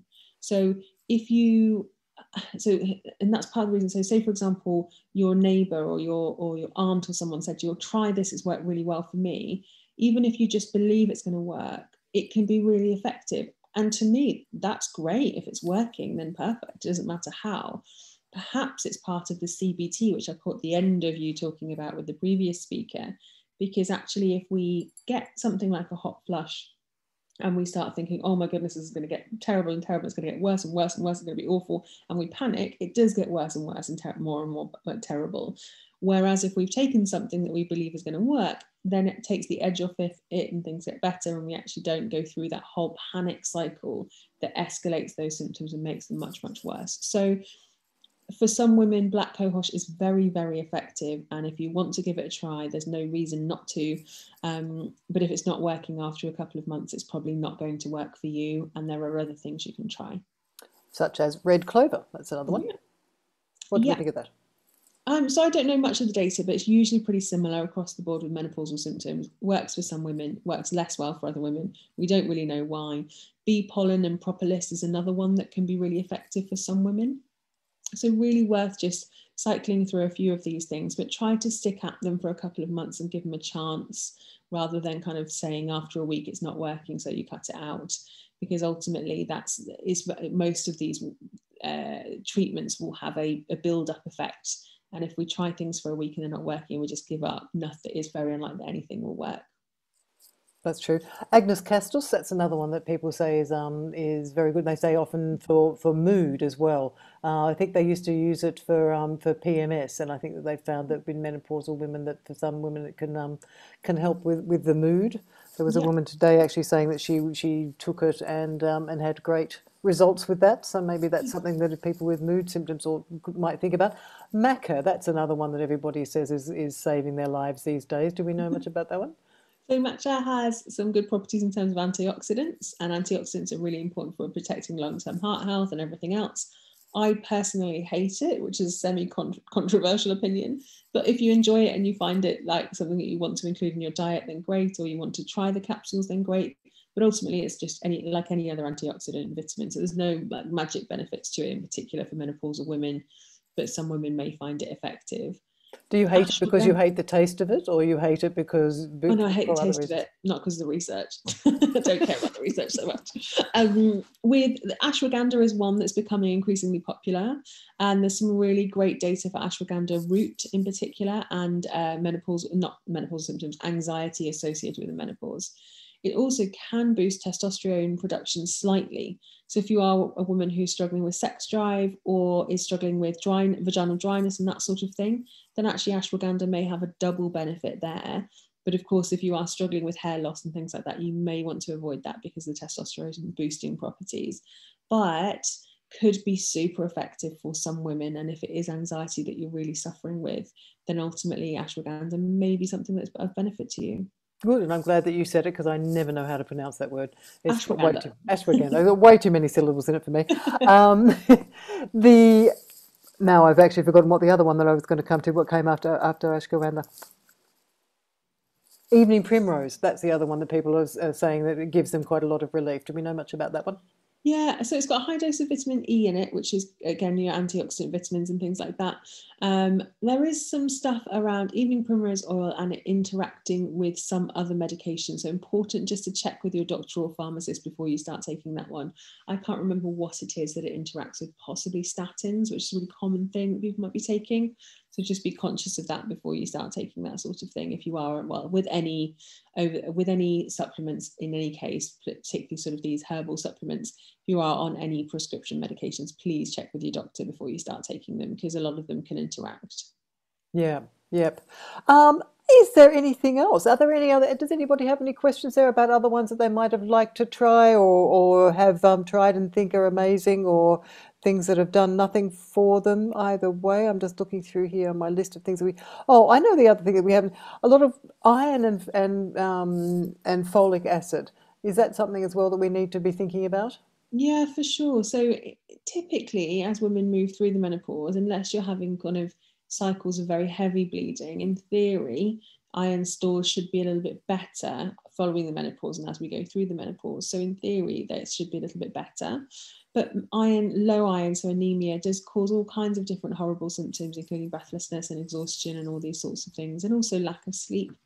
Um, and it can be useful to take. There's a liquid iron supplement called Spatone, which doesn't have any digestive problems. It's very natural and it just comes in a sachet with some vitamin C. It might be worth people considering that if they are noticing that they're struggling with their energy levels. I live in London and I noticed the, I think it's called Floradix adverts out all the time for tiredness. And there's there's not very much in there at all that's going to make any difference. But again, you know, people believe take it and believe it's going to work, which can be helpful from a placebo perspective. But Spatone would be a much better choice, or a really good quality multivitamin would cover you for iron and folic acid as well. True. And um, actually, you mentioned there vitamin C with the iron. And is that because um, I think this is there are various foods that people always say, like, you know, take sp- huge amounts of spinach because it's full of iron. Um, do we actually have to be relatively careful about which ones we're picking because they're not always bioavailable iron? And does the vitamin C, is the vitamin C important because it helps us digest it? Yeah, absolutely. So vitamin C helps us to absorb plant-based iron, so non-heme iron we call it so it's not coming from blood, so it's not coming from animal sources. Vitamin C really helps us to absorb that. So, for example, breakfast cereal and a glass of orange juice really helps you to absorb the iron in breakfast cereal. Um, with spinach, it's the calcium that's bound in spinach, but also iron to a certain extent is bound to other compounds in the plant. That means our body can't absorb it. So we could eat as much as we want to, and still we can't access all of it. So we just have to be conscious of that and make sure that we have abundant plant-based iron sources if we are on a plant-based diet. Yeah, and where where else would we find it then? So spinach is a great source. Lentils are a great source of iron for plant-based people, but um, any animal products, particularly red meat, is a great source of iron for everybody. Yeah. Brilliant. All right. I don't think I've got any more questions for you. Is there anything else that you? Oh, actually, there's one. I think B O R O N. I'm pronouncing that. Is it boron? boron. Yeah. Yeah. Yeah. Yes, this is another thing that I, I would never even heard of it until today, so I thought I will put that on my list. It was another one that they were saying that was good for um, for menopause. I don't even know what it is. What is it? So boron is a trace element, like what other ones? So like zinc and selenium and things like that. So it's a trace element, so a bit like a vitamin, but not quite in the vitamin classes as in still equally important, just as slightly different jobs. We, we use it alongside copper and other things like that. Again, for most people, most of the time will be abundantly available in the diet. And we don't need to worry too much about it. But certainly, deficiency in boron can drive some symptoms that would mimic the menopause. So, again, if you are conscious that perhaps your diet isn't as good as it could be, uh, and all of our diets aren't as good as they could be. I've had fish and chips for my tea. Um, I would say then thinking about a good quality A to Z multivitamin every day. It's like an insurance policy. So uh, well woman uh, well, I shouldn't say these sorts of things. So, so there's real quality, there's really variation in quality of vitamins. So Centrum is a great brand, Sanatogen is a great brand. So just keep an eye out for those ones in particular. Um, the bioavailability of the nutrients that the companies put in is really important fish oil is really, really important. These things are like an insurance policy. So you know that your body can pick out what it needs and get rid of what it doesn't need, especially on those days when you are busy and tired and relying on convenience foods over, you know, cooking yourself a healthy meal from scratch. True. I mean, you can't be a saint every day. You're allowed to have fish and chips every so often. Otherwise, your life would be really, really, really boring. I mean, yeah. I had I had hot cross buns for lunch, so um, you know, so nice. yes, they were good. Um, yeah, you can't be a saint every day. The um, and that's actually leading me to another thing because when you know when we do walk down the supermarket aisle and we see these rows of things, um, and you were mentioning before that we don't necessarily always know what's in them. Is there? I think there's a there's a sign now, isn't there? A, a, a, traditional herbal registration or something like that that we should be looking for on supplements um, that says that it is actually, you know, it does contain what it says on the pack? Yeah, absolutely. There are third party bodies that companies send their supplements to to check that, to, to prove that they have got in them what they say are in them. And I design supplements as part of my consultancy work. And the, the process is that we as a company might say we want to put this, this, and this in it. And then we take it to the manufacturer, and the manufacturer says, Yes, we've done that. And actually, what is really helpful is to get that third party to say, yes, the manufacturer has ticked that box. They have actually put in what they've said they've put in.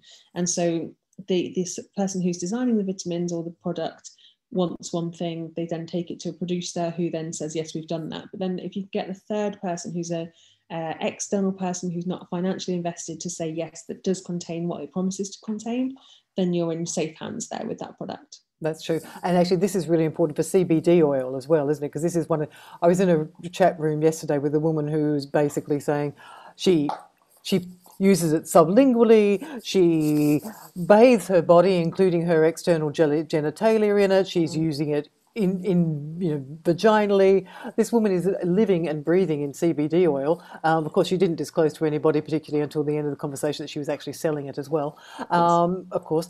Um, but you, this is another area that's really taken off. Do we know how much evidence there is for CBD oil? And again, that, you know, what's to say that there is actually even any CBD oil in the product that you're buying? Yeah, so again, because of the massive variation in the product itself, so because there's no real regulation of the market yet, it's still very early in terms of our understanding and production of it and everything else. There's so many different strains, we don't really know what we're aiming for. It's a bit of a shot in the dark with CBD oil. One of the things I would say is that in terms of mindfulness, having a couple of drops of CBD oil in your mouth and taking some deep breaths and just taking a minute to, to believe something's going to work and to refocus yourself a little bit probably will make a difference, even if the chemicals in the CBD or the natural chemicals in the CBD are making no difference at all.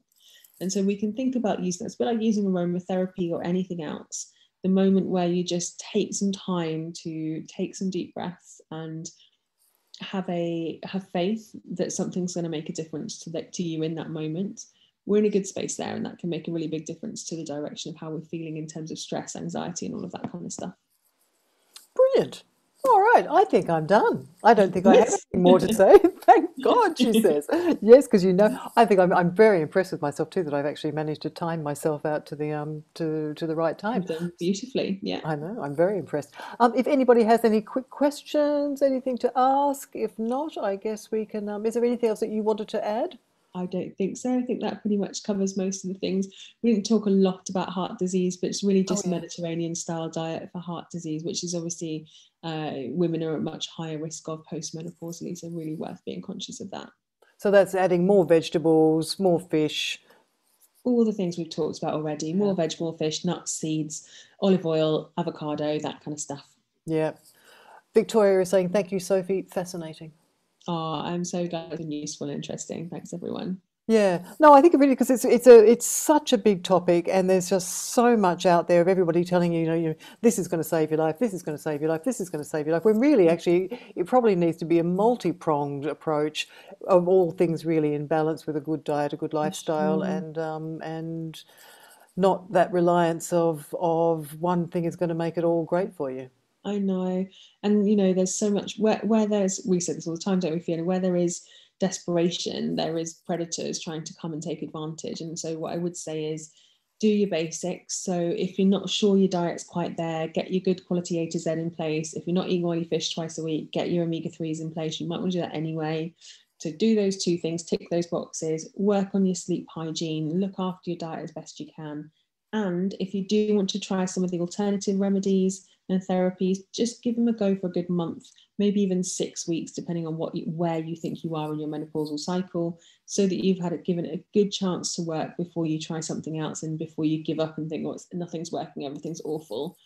Give it a bit of, ch- of a chance to work and recognize that perhaps you know, if it works for half of women, you might not be in that half of women, but there might be something else that will work further down the line for you.